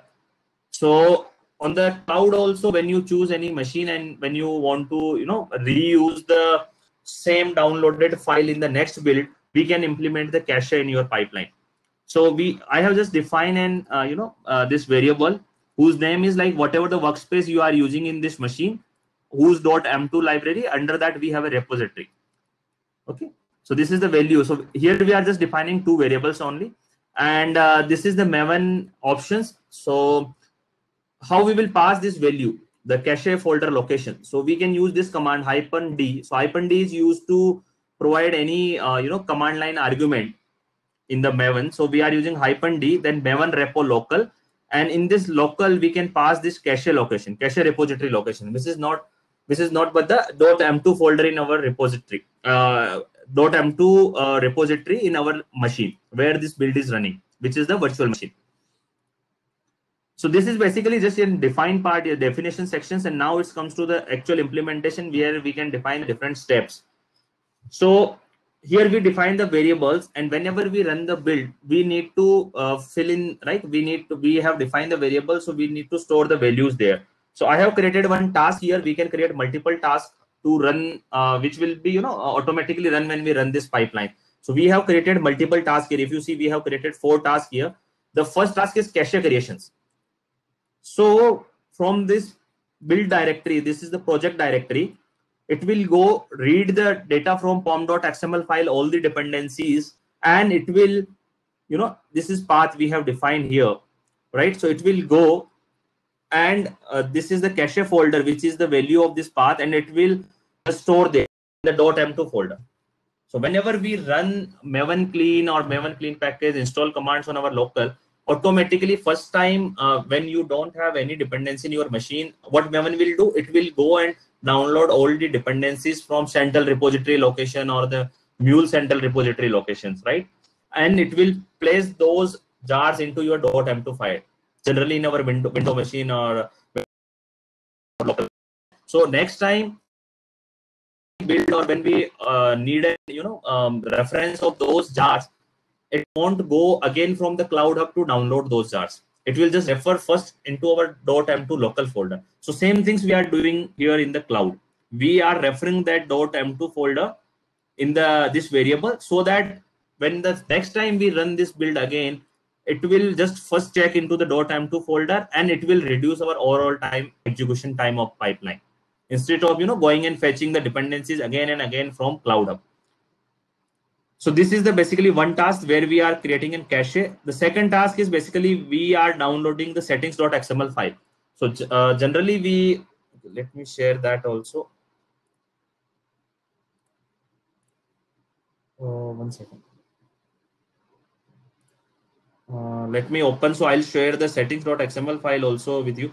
So are you guys able to see my uh, screen, the settings.xml file? Not bad. Yeah. So basically, I have just created a dummy one because the actual one have the uh, credentials. so I have just created the settings.xml file basically. So basically settings.xml file you can send at an central repository file or central file where we can maintain our credentials basically. And those credentials we can refer when our pipeline will run. So in the settings.xml file, we can define the different different servers tag. And under server tag, we can define one ID, which is nothing but you can say the key that we can refer in our CI/CD pipeline when we configure this. And if you see here, we have refer this anypoint platform. So the same ID we will refer in our Mule Maven when we run it, so that it will read the username and password from this settings.xml. And using this username and password, it will deploy the mule will deploy the application in mule cloud the runtime environment basically so we use these credentials or maven will use these credentials basically to log in into the, our cloud hub environment and deploy the applications so basically these credentials we have defined using this key and second if you see we have defined the server which is the mule repository this is also a key which we are referring here when we are downloading contents from the Mule Enterprise Edition Nexus. And why we need this? When whenever you want to run MUnit on your Cloud Hub, it will download when you run the pipeline. It will download few dependencies from your Enterprise Nexus. If you see this URL, HTTPS repository MuleSoft Nexus E. So we need an enterprise our uh, Nexus repository license. So if you are running uh, it's just an uh, you know a free promotional account you have that subscription only of the mule runtime cloud hub and you want to run MUnits you will get an error it will get uh, it will just throw an embedded uh, server not found error to you. So we whenever you want to run an MUnit test cases right the test phase on the cloud hub deployment part you need these credentials. You need to configure the mulesoft nexus enterprise edition nexus in your repository uh, in, in your settings.xml file or either in your pom.xml file also you can define these all things. Okay so let's move back to this azure pipeline. So here what we are doing we are just downloading the settings.xml file so that we will get these credentials our cloud hub credentials as well as we will get the our nexus enterprise edition credentials. So just for demo purpose like it's a fake one but in my actual settings.xml file i'm using my organization uh, enterprise edition nexus credentials so that it will download MUnit specific jar and it will run the MUnit test phases also then basically the third task There's will one. be like yeah yeah go ahead go ahead i will i will point out so i think I, I i can finish this uh, task definition with the goals and then maybe we can take the questions sake before moving to the actual pipeline creation part. Okay. Correct. correct. Okay, so the third command is nothing but what we are doing. Uh, we are uh, just you know copying this settings.xml file into dot .m2 directory. Okay, if you see this is the new item where we are uh, have a force copying this into our .m2 folder, whatever those settings.xml file we have downloaded. So this secure file path will be downloaded and it's renamed as in, in the .m2 as settings.xml. Uh, the next task will be the actual Maven task where we have wrote you all the commands. So like we have written, okay, which is the Maven POM file, Maven option where we are assigning the memory, then the JDK version, okay, where we are uh, we are uh, configuring the authentication feed, uh, release something we need that authentication feed also to release on the Nexus in um, or big server. Uh, this is the published JUnit result. So if you want to publish the your MUnit reports, you need to make it true. So as I said, I have a separate um, um, CI/CD demo repository and pipeline is already created where we mark this as in true so that when we run that repo, uh, particular pipeline specific to this demo part, uh, it will create the MUnit reports also. Then it's just like in JDK version, so it's using the same version which is available in the latest uh, this VM machine we are using. And uh, the SonarQube analysis also we have we are not using in this uh, demo. And then comes to the goals part. So in goal, we are defining like Maven clean package deploy. Okay. So as we seen in the slide also, it will go and it will just, you know, build your code. It will run uh, MUnits. If you have MUnits, it will just install. If you have uh, written the command to publish your uh, code in the repository or Nexus artifacts repository, it will go and do that. And finally, it will deploy on the MuleSoft. So to deploy that on MuleSoft, what, what we need to do, we need to pass an argument, which is hyphen D mule deploy. So when we pass this argument, then only it will read that mule deployment plugin, get the data from that and deploy your application on the Cloud Hub. So we need to pass hyphen D mule deploy as a runtime argument in the mule Maven command uh, to deploy that application on the Cloud Hub. If you see, we, we are uh, referring here the Maven ops also. So when you come to here, Maven ops is nothing but it's in cache. So if you see, it's referring the cache folder, and the command is hyphen d Maven repo local. So whatever cache we have defined here, the cache it will create after running the first time. When the job will run first time, it create a cache, and the same cache will be available here. So when we run this pipeline first time, it will take maybe a little bit, you know, higher time, uh, around seven to eight minutes without MUnit. And the second time, it will refer first the it won't download any jar and it will refer those details from that cache folder and you'll see the time will be you know decreases to one or two minutes from the seven to eight minutes using this cache one and the other parameter if you see these are the argument that we are passing at the runtime uh, one is the mule runtime version and the value is dollar mule dot runtime dot version so these are the variables that we need to define in when we create the pipeline. So at the runtime, we need to define these variables and their value. So their value will be passed in when this command will run, the Maven command will run. So if you see, I, I have defined here the version, runtime environment, uh, the workers, the worker type, the reason, uh, the credentials that we have defined. And this is the basically server credentials. So this server credential will be referred from our Anypoint Studio, uh, from settings.xml, sorry, so it's defined in the settings.xml file. So it will refer from here, the server credentials. Okay, now let's go to the pom.xml file. So I'll quickly explain what plugin we are using. So if you guys see, we are using this Mule Maven plugin for the deployment. So we need to define the our pom.xml file of that particular repository. So Maven will use this plugin to deploy your code on designated environment. So here, if you see, we have defined the Cloud Hub deployment. So we will deploy the application on Cloud Hub. Uh, we can define UI as an uh, just an um, uh, it's a default one. We can define http anypoint.mulesoft.com. Our application name we can define here, which is the Azure CI/CD demo basic.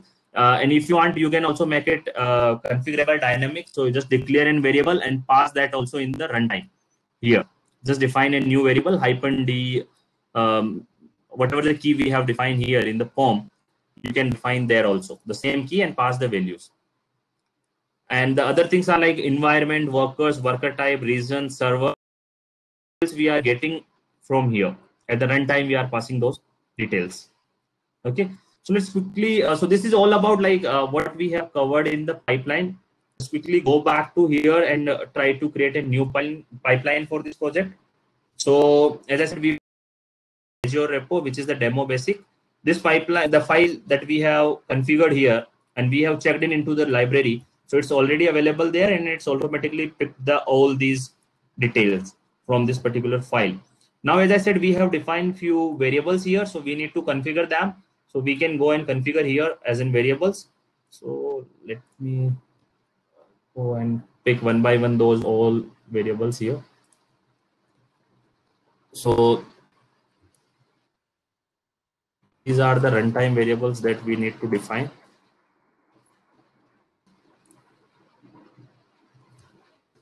Yeah, so we need to define the mule runtime version. This is the mule runtime version. And just for testing purpose, we are using 4.2.0 only. So just click on the click, it's created. Uh, one more thing I would uh, highlight for the when we configure the next variable. So let's say for this is your runtime environment. Uh, and this is the value that you want to provide which is the sandbox in our case okay and if you want uh, to provide some encryption key or some credential at the runtime and you want to keep them as a secret you can click on this tab and this will automatically encrypt this value. And when our pipeline will run azure devops will automatically decrypt it and use that value. But no one else can see this value once we have encrypted this. Okay, so when you click on this, it will automatically convert into this, basically. So quickly we can define all the variables. Using the one workers here, we are defining the worker type.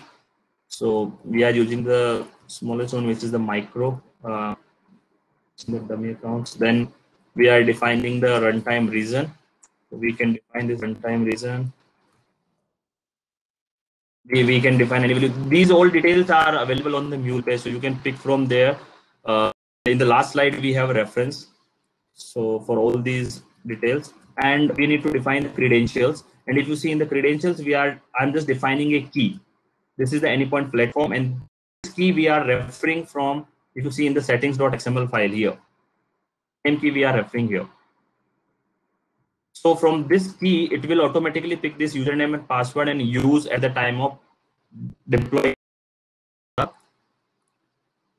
And why we need server, I'll show you in the POM, we have configured that. Basically, the server type.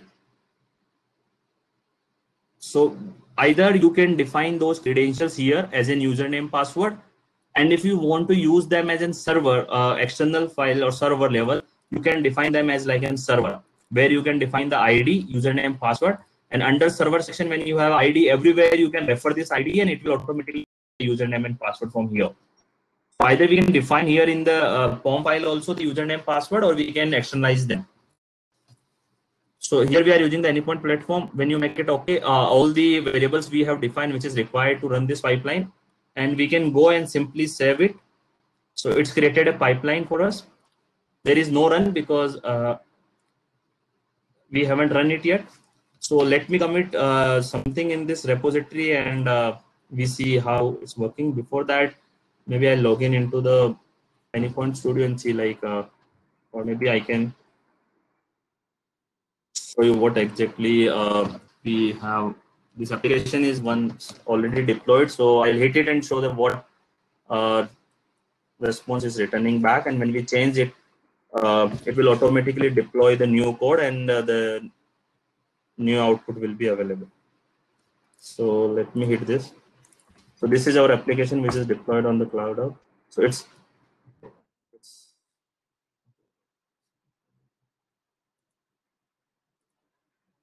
okay. I think it's not running. I think we need to rerun it. So let me first uh, uh, commit something into this repository, or either if you want, you can directly uh, when you click on the all, it's showing your pipeline. So we can run it and it will deploy your application. So first time we are directly, we can run manually from here. So see the cache also, like it will take a lesser time when we commit anything. This is the first time running it, it manually from here.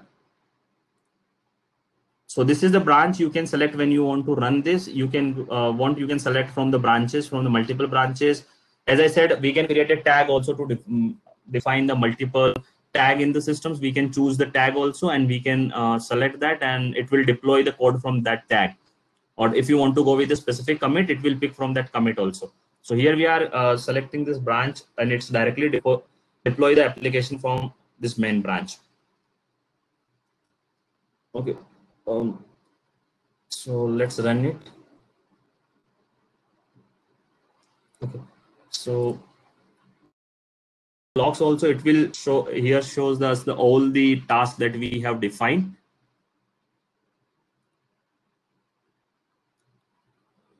Because it's just in free uh, subscription, so we have just I think uh, it's in shared pool i think so it's picking up the virtual machine and if you see it's showing us all the uh, steps that we have defined just like it's downloading the settings.xml azure.cicd uh, demo check out that repo then it's doing the cache uh, this copying the settings.xml file in .m2 and then in the maven it's downloading the jar. So uh, it will take around one minute to explain you where we can define the settings.xml and other variables. So guys if you go to this library part here in the left side see we have a different different options here. Variable groups okay? So in the variable groups we can create variables here. So let's say for example uh, just this is the your variable name. You can uh, rename it to any like this demo variables.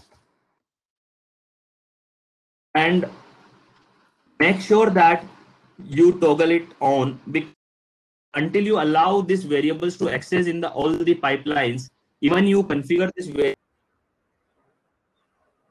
the pipeline, in your pipeline here, in the variable sections, this one, your pipeline won't have any permission to read it. So we need to toggle it on here. Then only it allows our pipeline to read this data from this variable. So under this variable section, you can define anything like whatever variables we are we, we are defined at the pipeline level if you want to make them global you can define here also so let's say for example you want to define any point client id let's say for example so you can define here and when you click on it it will make it secret. Uh, let's say for example i have typed the abc and when i click on it it's automatically encrypted. Now no one can read it.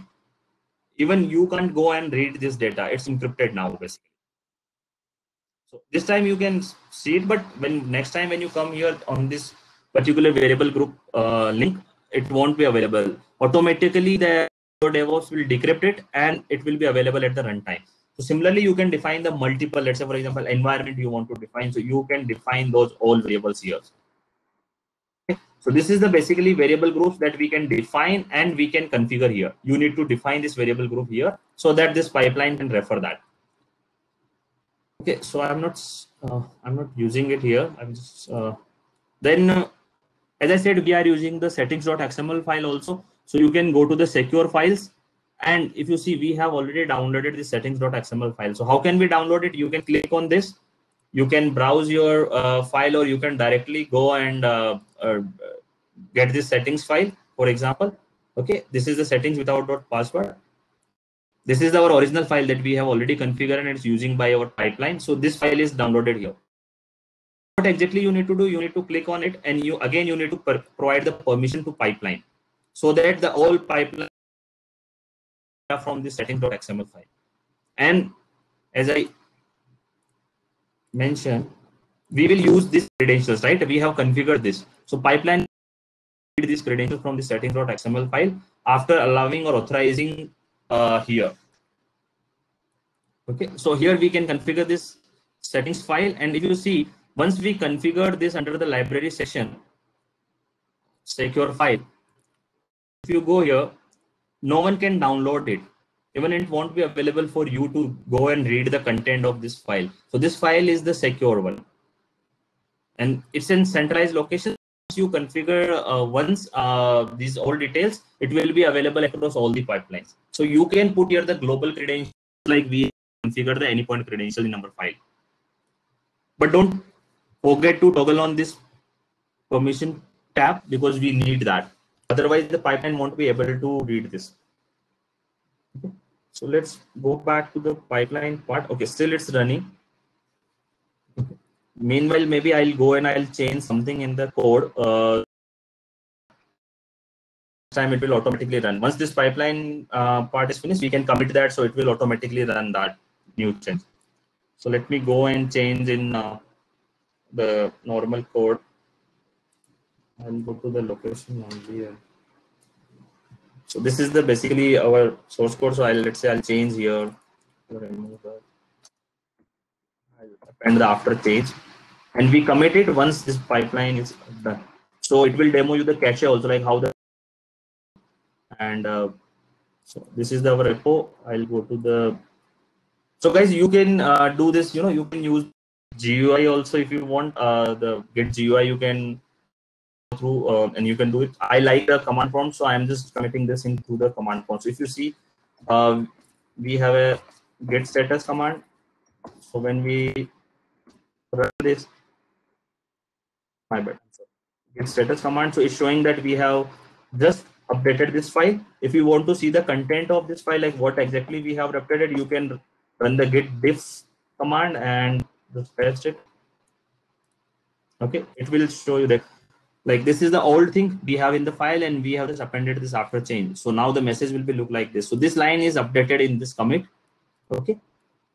Now we are running the git add command. So when you run the git add command, it will move your changes into the stage area. Okay, so that when we commit it into our repository, Git will be able to find out this change. So Git will only commit those changes into your local repository or you can push them onto the report uh, remote repository which are available in the stage area. So to move into the stage area, we need to do either you can type the git add and file name, and if you type the dot, it will move changes or all the changed file or updated files into the stage area. So if now run, you see earlier it's in red state, means it's modified but not yet in the stage area. Now if you see it's in the staged area, it's moved into the green color, it's in staged area. So we can create a commit like online demo changes. This is a commit message so that we can see.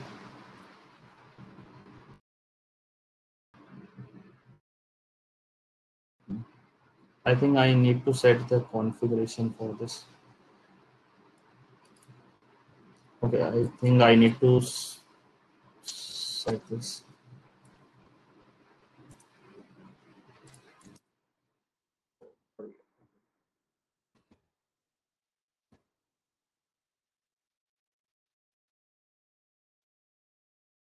And we need to set our username also.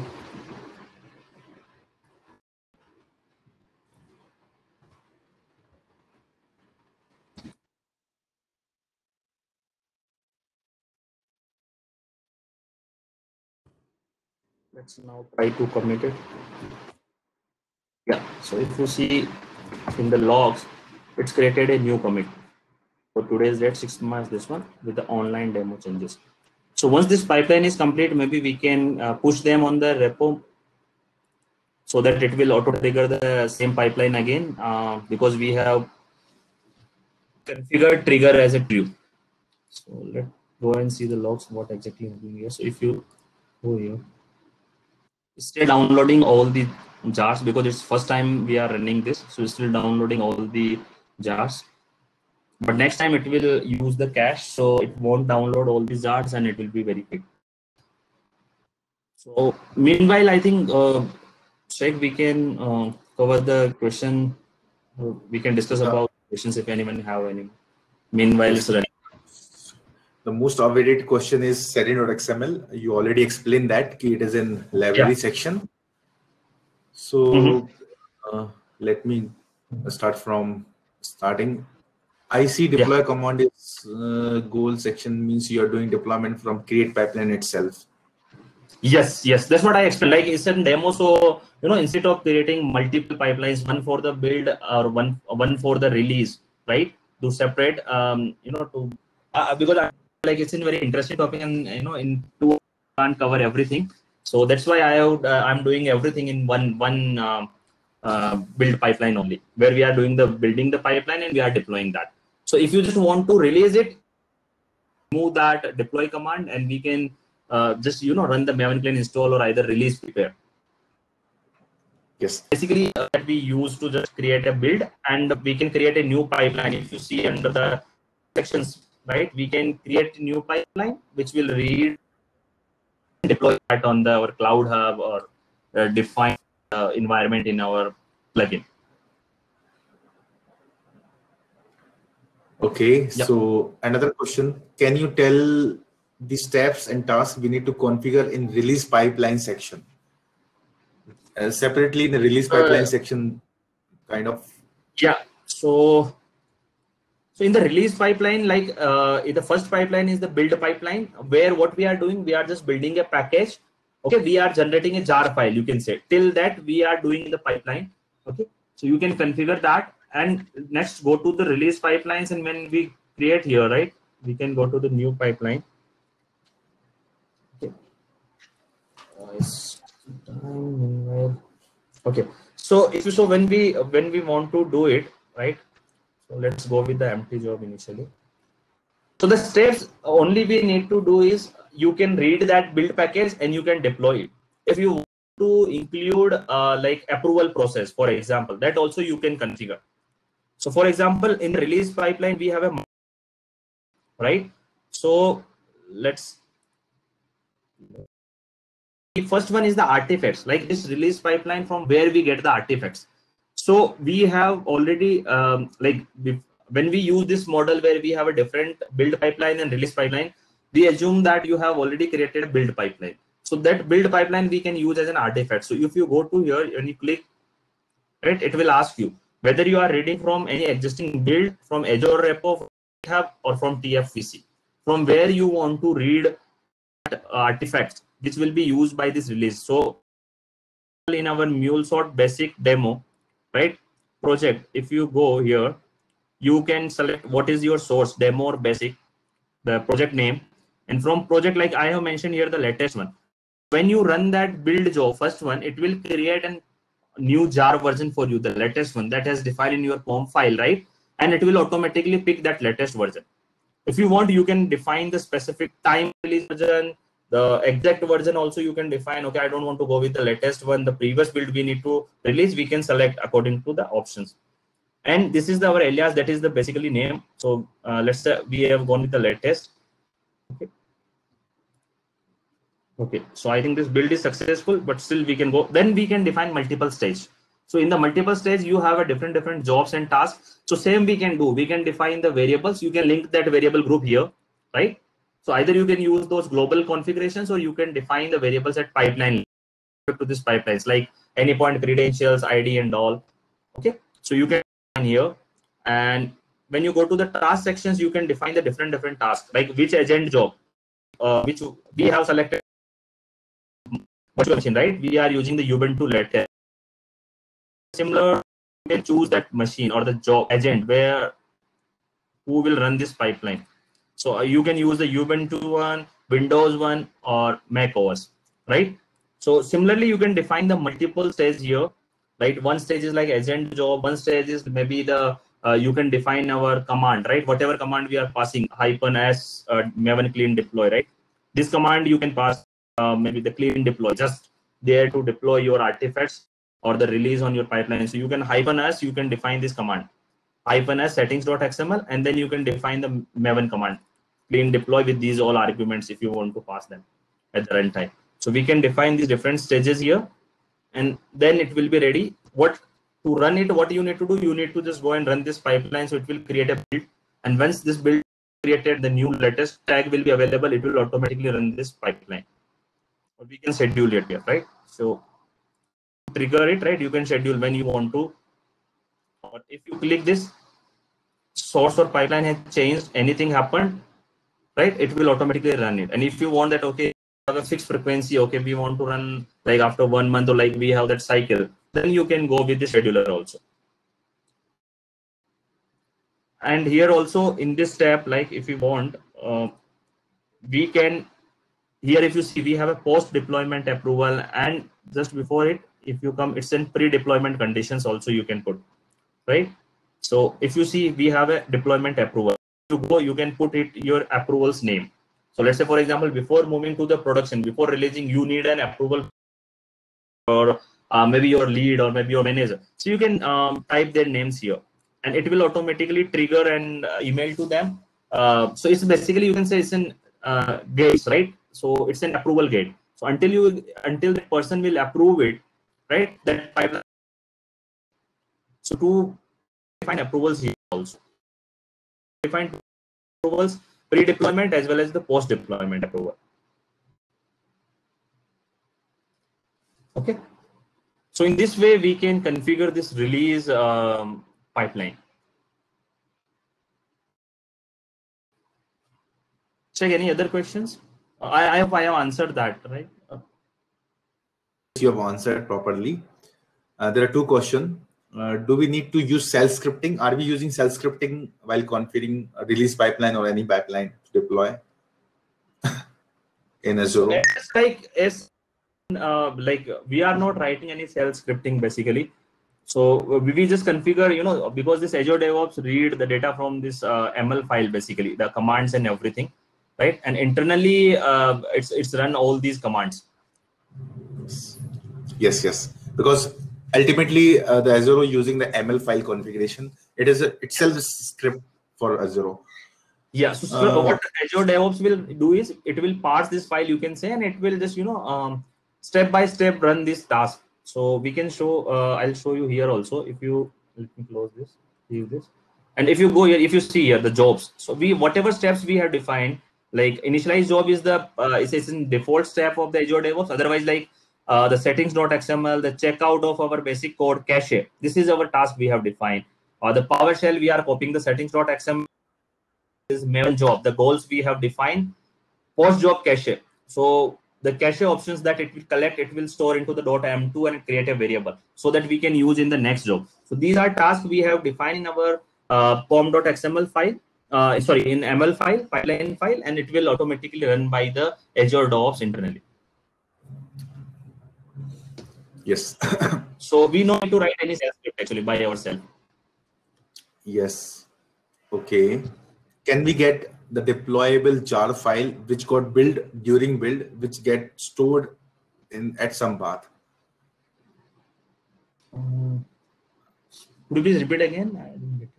Yeah. So basically, suppose we uh, run the pipeline and the pipeline is success and the jar is deployed to the uh, cloud hub or any uh, one uh, ITF or on premises. Do we get a jar file, whatever the jar file is created in Azure from something uh, in the screen or UI can be downloaded that or in Nexus? Oh, you, yeah, in, in, like if you want to uh, like publish it in the Nexus, right? Then we can download it, right? We can go and we can download it. And uh, like i'm not aware maybe maybe i think uh, i haven't come across scenario like where we i, I need to download this jar, jar. right? We generally go and we can um, like you can download from your runtime itself right? If you want uh, to download that code. Because i don't think so this this uh, azure devops somewhere storing that jar until we publish that into the nexus. Okay yes. You can you can just you know download the source code only because we are using git where we can have this source code. So that you can go and download from maybe the different different branch or maybe the tag. Tag also you can uh, download the source code. But i'm not aware about that. Maybe i can explore. Okay. I think the the question is already covered. Uh, do we have okay. create build and release pipeline for each project I think the, that, that like best practices says yes. Ideally, we should have a separate pipeline for each project, and we should have a separate build and separate release because uh, using the release pipeline, you know, you can get some like approval things and all those other features, and it will be very easy. Like uh, the person who have the permission to release, uh, then only you know you can go and uh, release that code particularly on the production environment there is no harm in doing everything with a single pipeline. Maybe accidentally sometime if we run the production pipeline, maybe it will create a problem. So that's why we should have a separate release and separate build pipeline.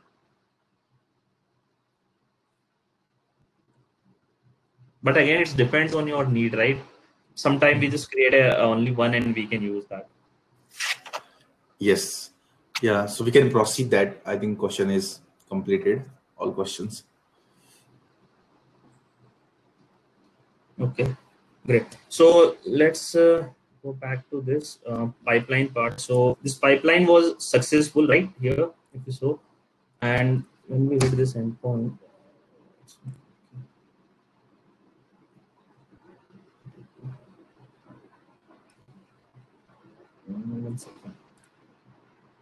Uh, let me pick the other one.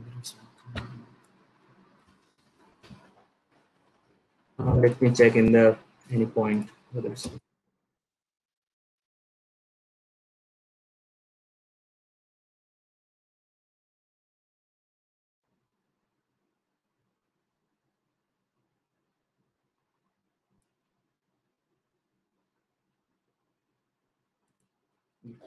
So let's go to the runtime manager.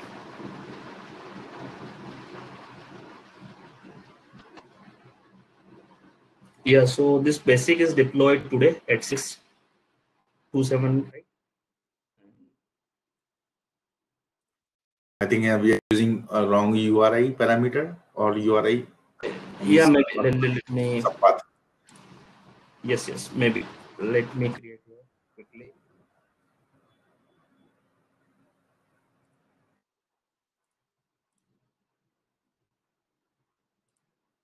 Uh, let me create an URL quickly so uh, we can.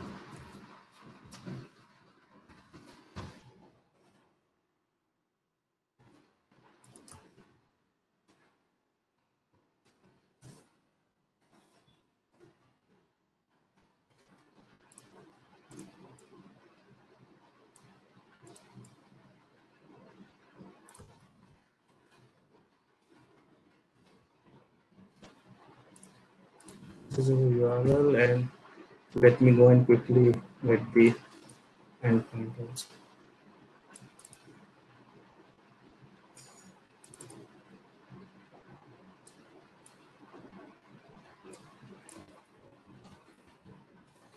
We are using the correct one.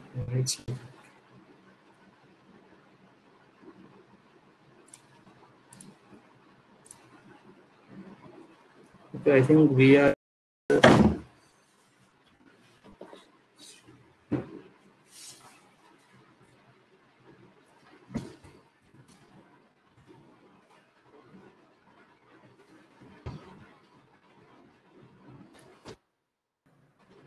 it's working. Right?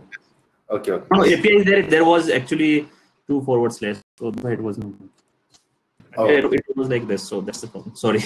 Okay, so if you see, this is working with the Azure CI/CD demo. Um, that's we I have shown here, right? In the code, we have the same thing.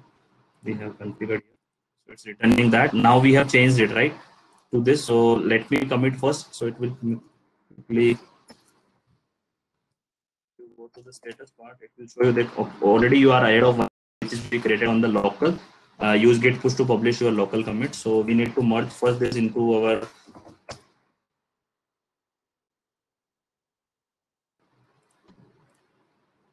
So let me get the my credentials. Okay, so if you see it's pushed that code, uh, now we can verify here, go.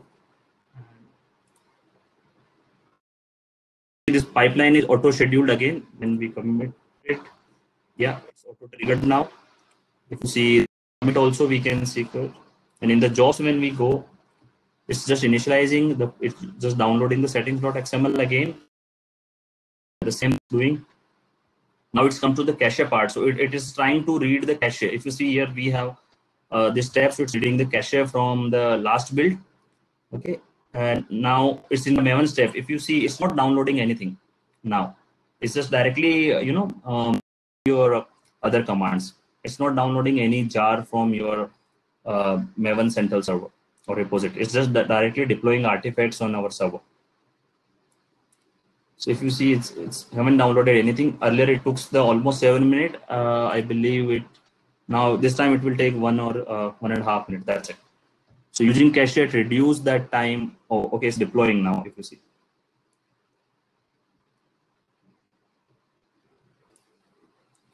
And if you over here, if you see, this is the the last commit that we made, right? If you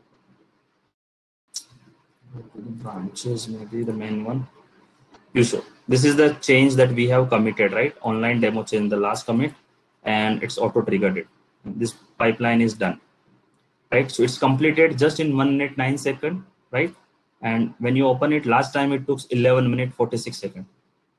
So using cache, you know, we no need to down. It won't download anything again and again. So it's reduced your time to almost, uh, you know, uh, one by ten times, right? Yes. It reduced time to tenfold. So yeah, Where but this cache, Ganesh? sorry. Where is this cache? Is this in Azure DevOps?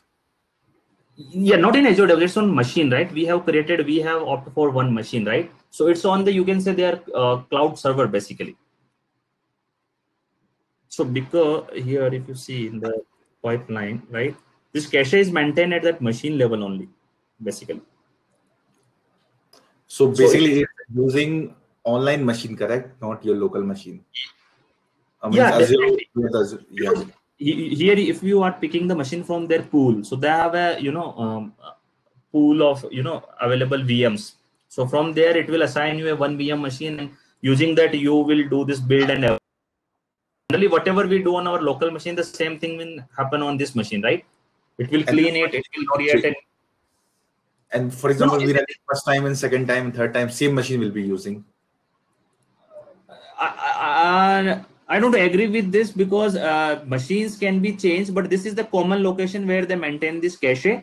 And this cache, if I'll show you, uh, it will be like an basically when they generate, they generate a key. Okay, so let me go to uh, this job. Uh, if you go to this cache, you see it's resolving a key. So based on that key, it will try to get that particular cache. So this is your key basically that is generated when you run this last build. So it's maintain the details and based on this key it will you know uh, fetch that cache from that uh, you know global locations which is shared across multiple vm images Right, which is in, in Azure, right? yes in azure yeah And how long this cache will stay? Means, uh, for example, if you're I- running after, yeah. i think by default time i read somewhere it's a seven days but we can configure that but i have just you know free subscription so i don't have a control on other things but we can configure that also in the pipeline also Yes. So, so, so, so for just demo purpose, like you know, uh, I don't have the full access because it's just an um, trial subscription, right? But we can configure like uh, if you want for seven days, thirty days, like that. yes, it's wonderful, kind of very good uh, tricks, or we can say this is the because every time waiting for 11 minutes is kind of waste of time, correct? Yes, yes, right. So that's why we can cache and we can use it, right? If you see, it's also download the same cache, right? If you see, it's downloading here. So the last size of the cache, the memories maybe internally it's just like 45 MB and it's downloading that cache only, right? Here, if you see. So it's downloaded that and it's using .m2. So this cache is equivalent to the M2 only in our machine. So now when we run it, I hope it's deployed. Yeah, if you see this Azure CI/CD demo after change, and if you go here, it's like it's just updating the status, but it's deployed. If you see in the logs. So if there is a not use the cache, right? So it should get downloaded from the global location. Yeah, right, right, right. So it will get downloaded automatically because in this cache, if you see when we define the cache, right, we have defined here the POM file, right? Seeing that that this is the key. So if you are changing anything, like you are increasing the version or you are changing the dependency, definitely uh, the key that it will create with your recent POM file won't match with the existing key, right? So it will go and download all the dependencies again. Okay. So if you see, we have mentioned this key from uh, like from which parameter is creating a key. So it's creating a key from your POM file. So if anything happens or any change happened in your POM file, if you added a new dependency, change the version, right, it will go and download again the you know because the, there is a key, key mismatch, so it will go and download all the dependencies again.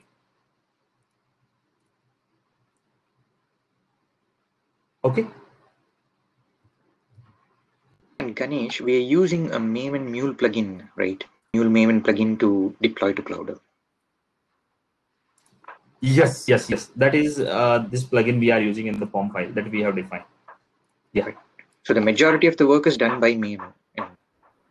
Azure DevOps just uh, yes. kind of automates the whole thing. Yes, Azure DevOps is just like you can say the automation server. That's what I explained in the first slide. Like it's just a build server or automation server. The build tool is you can say the Maven, which will do everything for you. The this particular Azure DevOps will will take care okay someone when committing in this repository i need to fetch the code and i need to run whatever the commands we have defined the maven commands. And then the maven will do what so the start point is you know we can uh, we we are configuring here in the azure devops but actual work is doing by maven only definitely so azure devops is just you know uh, providing us in virtual machine a machine and where we can do all these stuffs that's it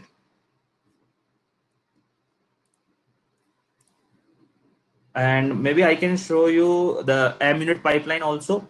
So we have already created this pipeline because uh, I'm not creating again the pipeline. The pipeline is already created and it run the last time um, on the Wednesday. So maybe I'll show you in this pipeline what we have done is uh, what exactly we need to configure when we need uh, to run the MUnit. Okay.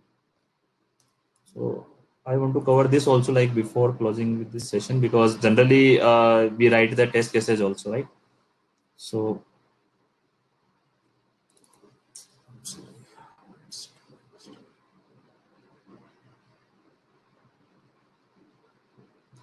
so to run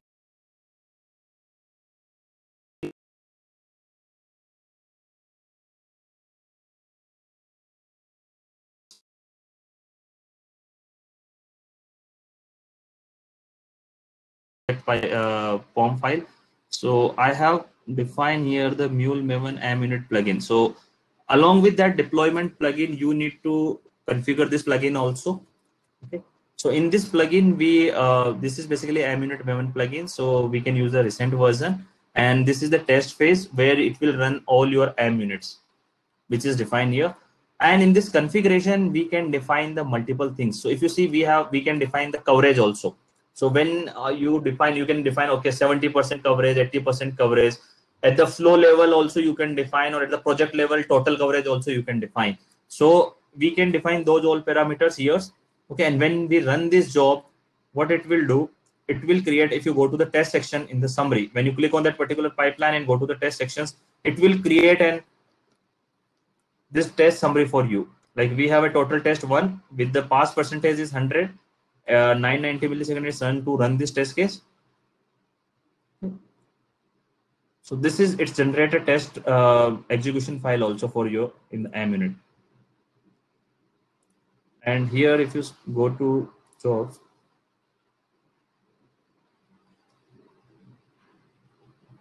I'm sorry, I, I'm sorry. One second. It will show there only in the front when we click on the pipeline. Here, if you see, it's, it's showing that test coverage also. So it's an 100% passed. All the test cases are passed and the coverage is the 100%. So we can define that uh, in our Mule Maven plugin, Unit plugin itself, uh, what coverage we want, okay, at the flow level, project level. And also, as I said, we have an option. Uh, so we can configure even if unit pass, do we still want to continue with the pipeline so that it will go and just deploy your application, although the unit test cases are pending? That also we can configure in this plugin and it will work for us.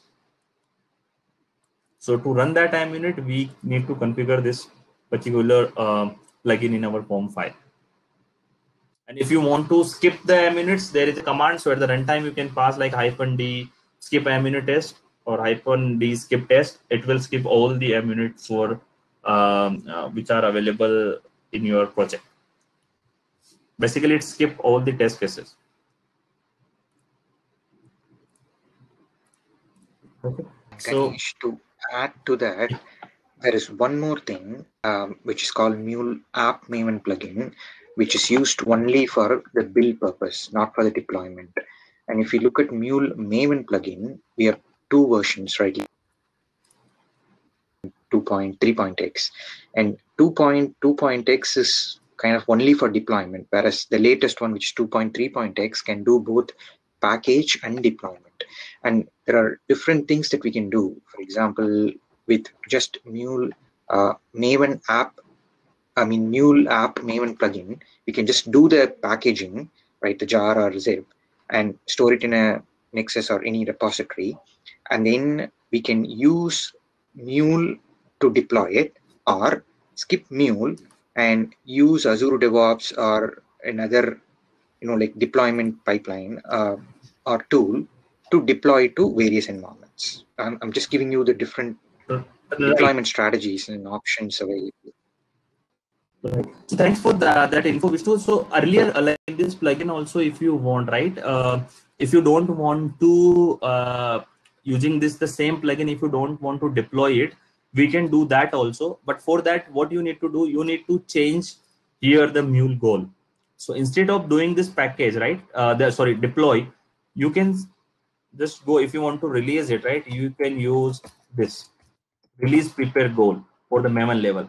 So it will uh, you know use still the same plugin in the older version right but still with this version it it won't deploy anything it will just release it's prepare your package and release in the nexus and we need to define the nexus either in our pom as a nexus repository or either in our uh, settings.xml file we can go and define here as a repository where it will read and uh, publish that uh, particular package.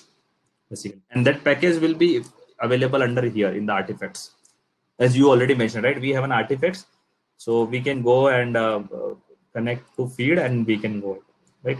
So our in our case it's in maven feed so we can go and create. We just need to include this plugin uh, in our settings.xml file. Right this is the our uh, nexus location right? The artifacts location where it will publish it so you are right like from the in the new plugin yeah we, we use the same. Yeah. Any other question like before i'll move to the last slide which is you know uh, i know we are already you know uh, I no, it's 30 minutes right? We are already no, no, think, but the last slide is nothing but it's it is a very good thing that yes, we are explaining and everything. So for for the, the first job is to explain yeah.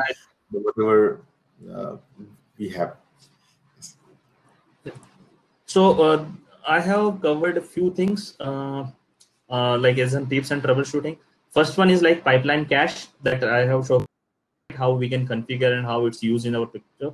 Runtime variables that also uh, we have configured at the pipeline level, right? Where we are providing the version, environment, and all. These are the runtime variables we can configure. Uh, in Azure DevOps also we can configure our variable groups. So these groups are you can create so they can be used globally uh, across multiple pipelines, right? Whatever the pipeline you have defined, you can use across uh, your organization, right? Then uh, we can configure the secure settings.xml file. That also uh, we can go and in under the library section in Azure DevOps, we can configure the settings.xml file and it will be encrypted one. So no one can read your credential which are defined in the settings.xml file. Okay, now comes to the troubleshooting part. So generally what happen is uh, I seen like uh, these kind of errors um, uh, in past, so I thought I can include those three points. So first, uh, let's start with the secure file. So secure file and variable group permission error. So I'll show you when when we go back to this part, right? When we define uh, those secure files and settings file in under the library, I told you right, we need to toggle on that permission tab. Otherwise, it will throw you an exception. It, it says that you don't have a permission so if you show in the secure files, we have we need to toggle on it, authorized for use in all the pipelines. Otherwise, it will give you this error. Otherwise, it will give you like you don't have a permission to use settings.xml file or those variables groups. So generally, we forget to toggle on like we configure that and you know we uh, run that jobs. So if you find any kind of error, just go on and toggle. Just go and toggle on that uh, variable group permissions and check your secure file permissions one thing that uh, this gen generic contribute permission error in Azure. So this is basically when your user is doing, when you are committing, the user who is committing anything in your repository, that user should have contribute permission in Azure DevOps. Otherwise, it will throw you an error when you are running that build pipeline. Basically, you committed that code, but the user that you are using to run that pipeline, that user should have permission into the library So that also we can configure in Azure DevOps at this in the settings, we can go and we can configure that. So that we can uh, that we can go and configure in the project section at the level I'll, I'll show you that also so in the in the project we can go to the repository here in the project settings we can go if you find in the uh, repository right we have a repositories and choose your project when you choose we have a different different kind of permissions if you see here right so for my user basically it's in ganesh right see the contribute permission, whether we are allowing him or not, denying not set. So if you are getting any kind of this kind of error, make sure that that user have a contribute permission. And the last one, this is the basically uh, whenever you are running any MUnit on your cloud hub and you are getting this MUnit illegal state exception error, cannot start the embedded container. So basically what happened is when we run the MUnit on our cloud hub, it will go and download some dependencies from your as i said in the we need to configure this enterprise nexus so it will go and get the some jars or you can say the dependent jars from this your organization nexus. So we need to configure this plugin in our settings.xml this profile or either in the pom file and we need to configure those credentials. And you, uh, to get those you know your organization level nexus credentials you can raise a ticket to mule support team and then they will give you your organization credentials the username and password. So that you can use you can configure here or in the pom file and then uh, these credentials are we are referring here and it will download all the dependencies and it will resolve your that problem. It will resolve your mule illegal state exception problem. Okay. Yeah these are the i have included few references which i have used to you know uh, build these slides as well as these are the mulesoft link uh, so which have everything like how different different uh, deployment strategies um, what we need to configure in mule maven plugin.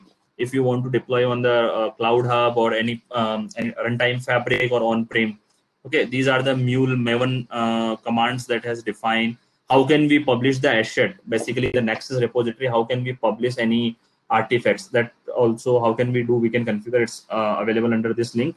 And if you want to configure the git uh, particular uh, git uh, plugin in your anypoint studio you can refer this last one. Okay i think that's it. If anyone have any question uh, we can discuss. So that's it from my side guys. Um, like if we have anyone have any question we can discuss that. Let's see that. Uh, yes so Vinod asked that can you can we see the release pipeline logs so when the release pipeline is running how can we see the release pipeline logs uh, actually we haven't run that right release pipeline we have just created everything in one pipeline so i just so I'm just like, what are the steps we can configure, but we haven't run yet. So, but this in, in the same, okay, I'll, I'll showcase the, uh, maybe this, because it looks in the uh, same way. Same. Yes, yes. Yeah, in, in, if you go to this pipeline, right, the existing one, anyone, right? Mm-hmm. And when you click on this, okay, you can click on the latest run, okay? And if you go here, you can click on the particular job and you can see the logs here okay it is showing you all these steps so in the similar fashion for the release pipeline also it will show you all the logs so in our case actually we are doing everything under this one maven command only so at the end maybe if you can go and see what it's doing in the release pipeline also you will find out the same kind of logs like what it's deploying right and it's just replacing the application because it's already existing redeploying okay mm -hmm. so the similar kind of logs you can find out uh, there also in the release yes Okay, so I think we don't have any other questions, so we can uh, uh, wrap up the speaker session. So first of all, I would like to give you thank you to Ganesh for a wonderful session with slide and with demo and each and every use case, the small, small information Ganesh has given. I would like to thank you to Ganesh. And I will I would like to thank you to all participants who participate very much wonderful participation actually i have seen that comments, questions, and how exactly we are giving answer. Vishnu is helping us uh, to giving answer also. So it is kind of very coordinating session I've seen, and uh, and it is, it is not possible because of you guys, you attendees guys, uh, who who not uh, come here to uh, giving a taking a knowledge just here to basically sharing information what I have faced, what kind of projects infrastructure I have. so it's kind of very informative and good session. So the after the speaker session, Uh, there is a there are two more things uh, pending.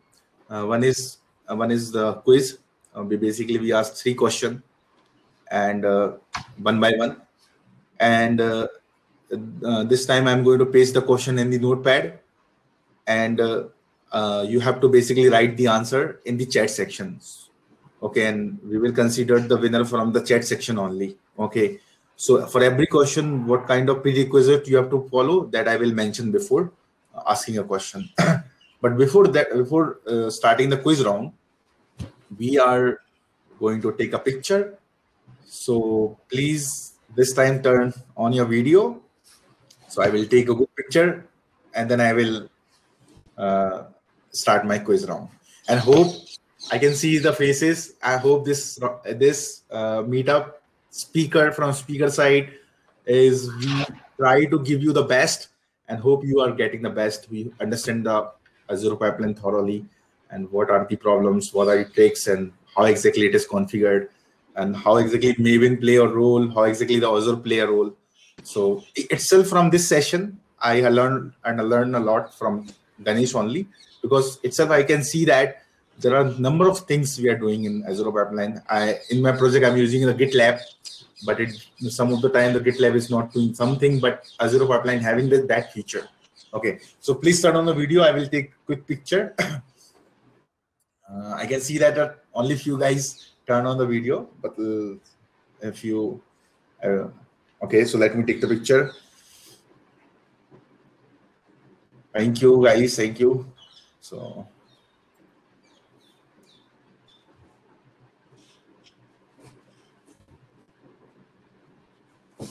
Yes. So let me share my screen. I'm going to, yeah, thank you, Francis. Let me take picture. So let me share my screen. Uh, I'm going to start the quiz session. Uh, hmm.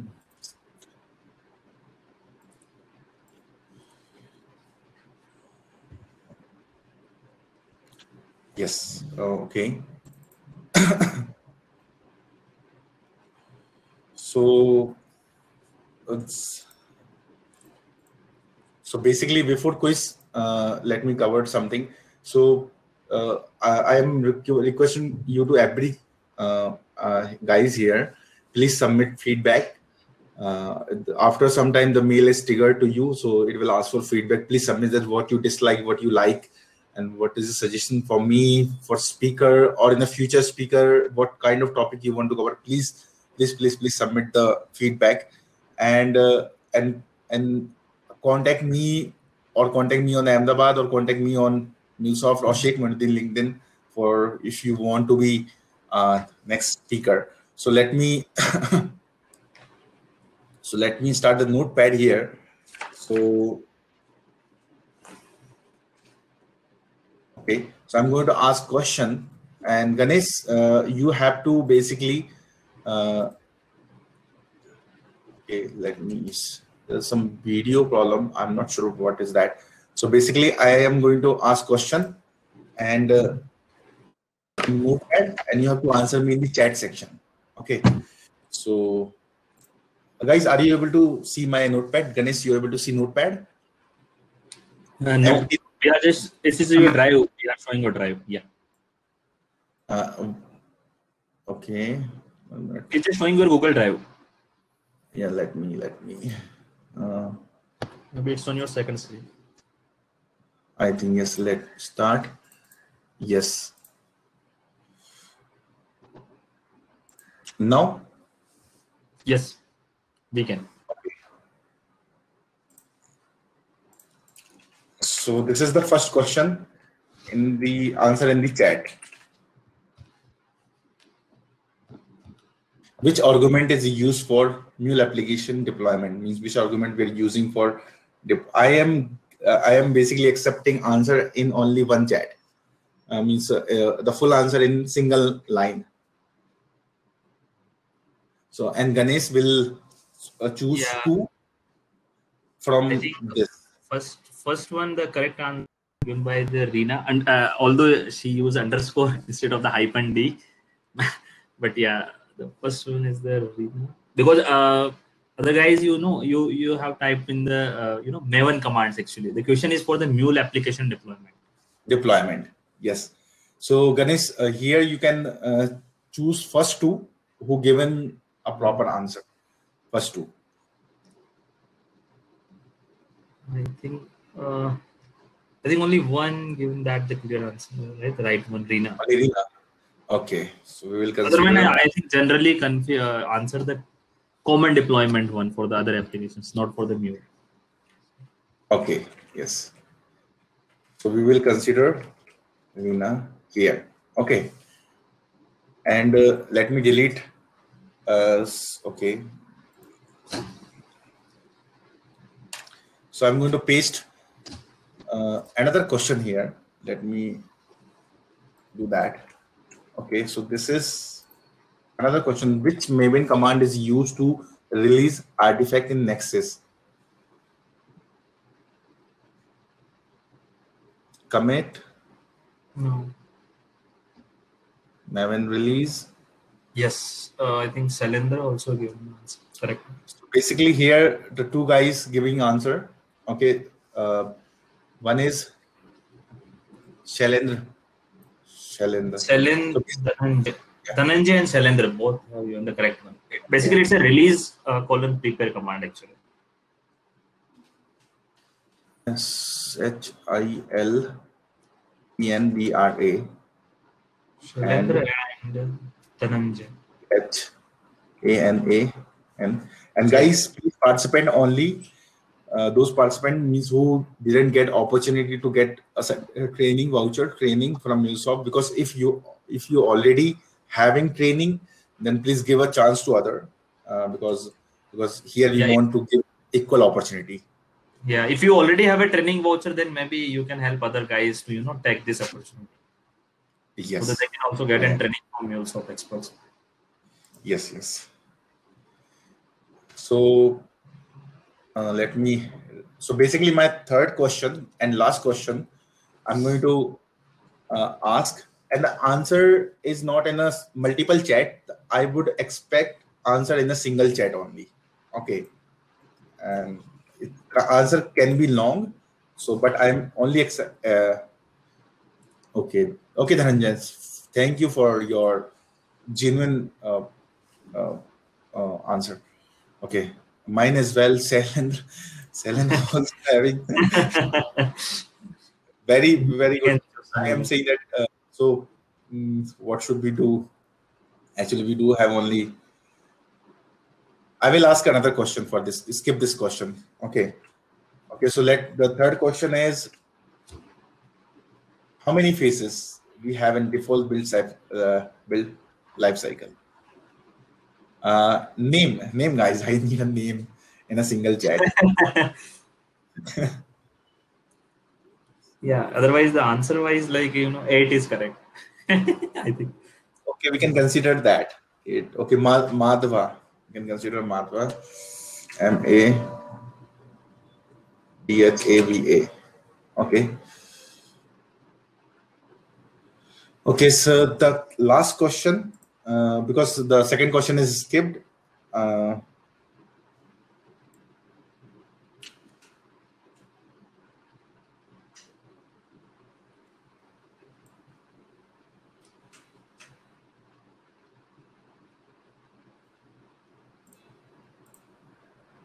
just give me one minute.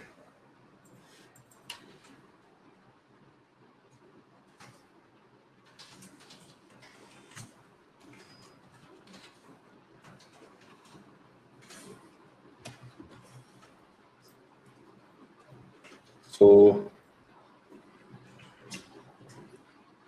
this is the last question. What kind of setting we need to do in setting.xml file for connecting anypoint exchange? Form or setting.xml env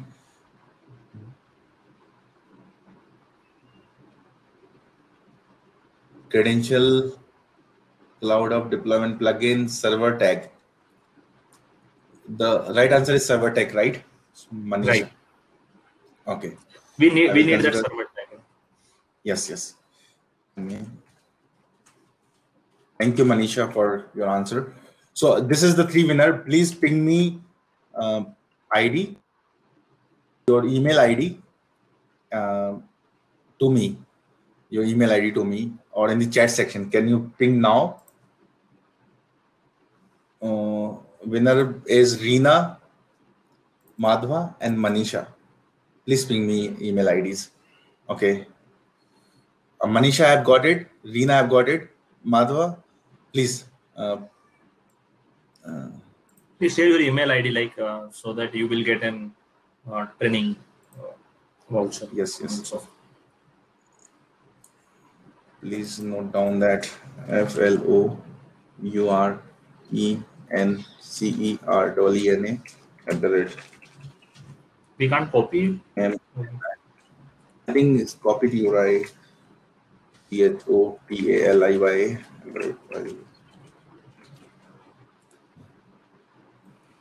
Okay, congratulations, winner.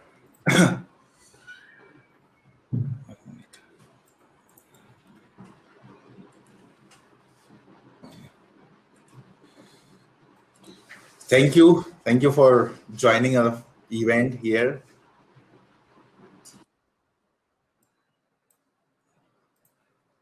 And i think we can uh, stop the session. Yes. Thank you so much everyone. Thank you. Thank you everyone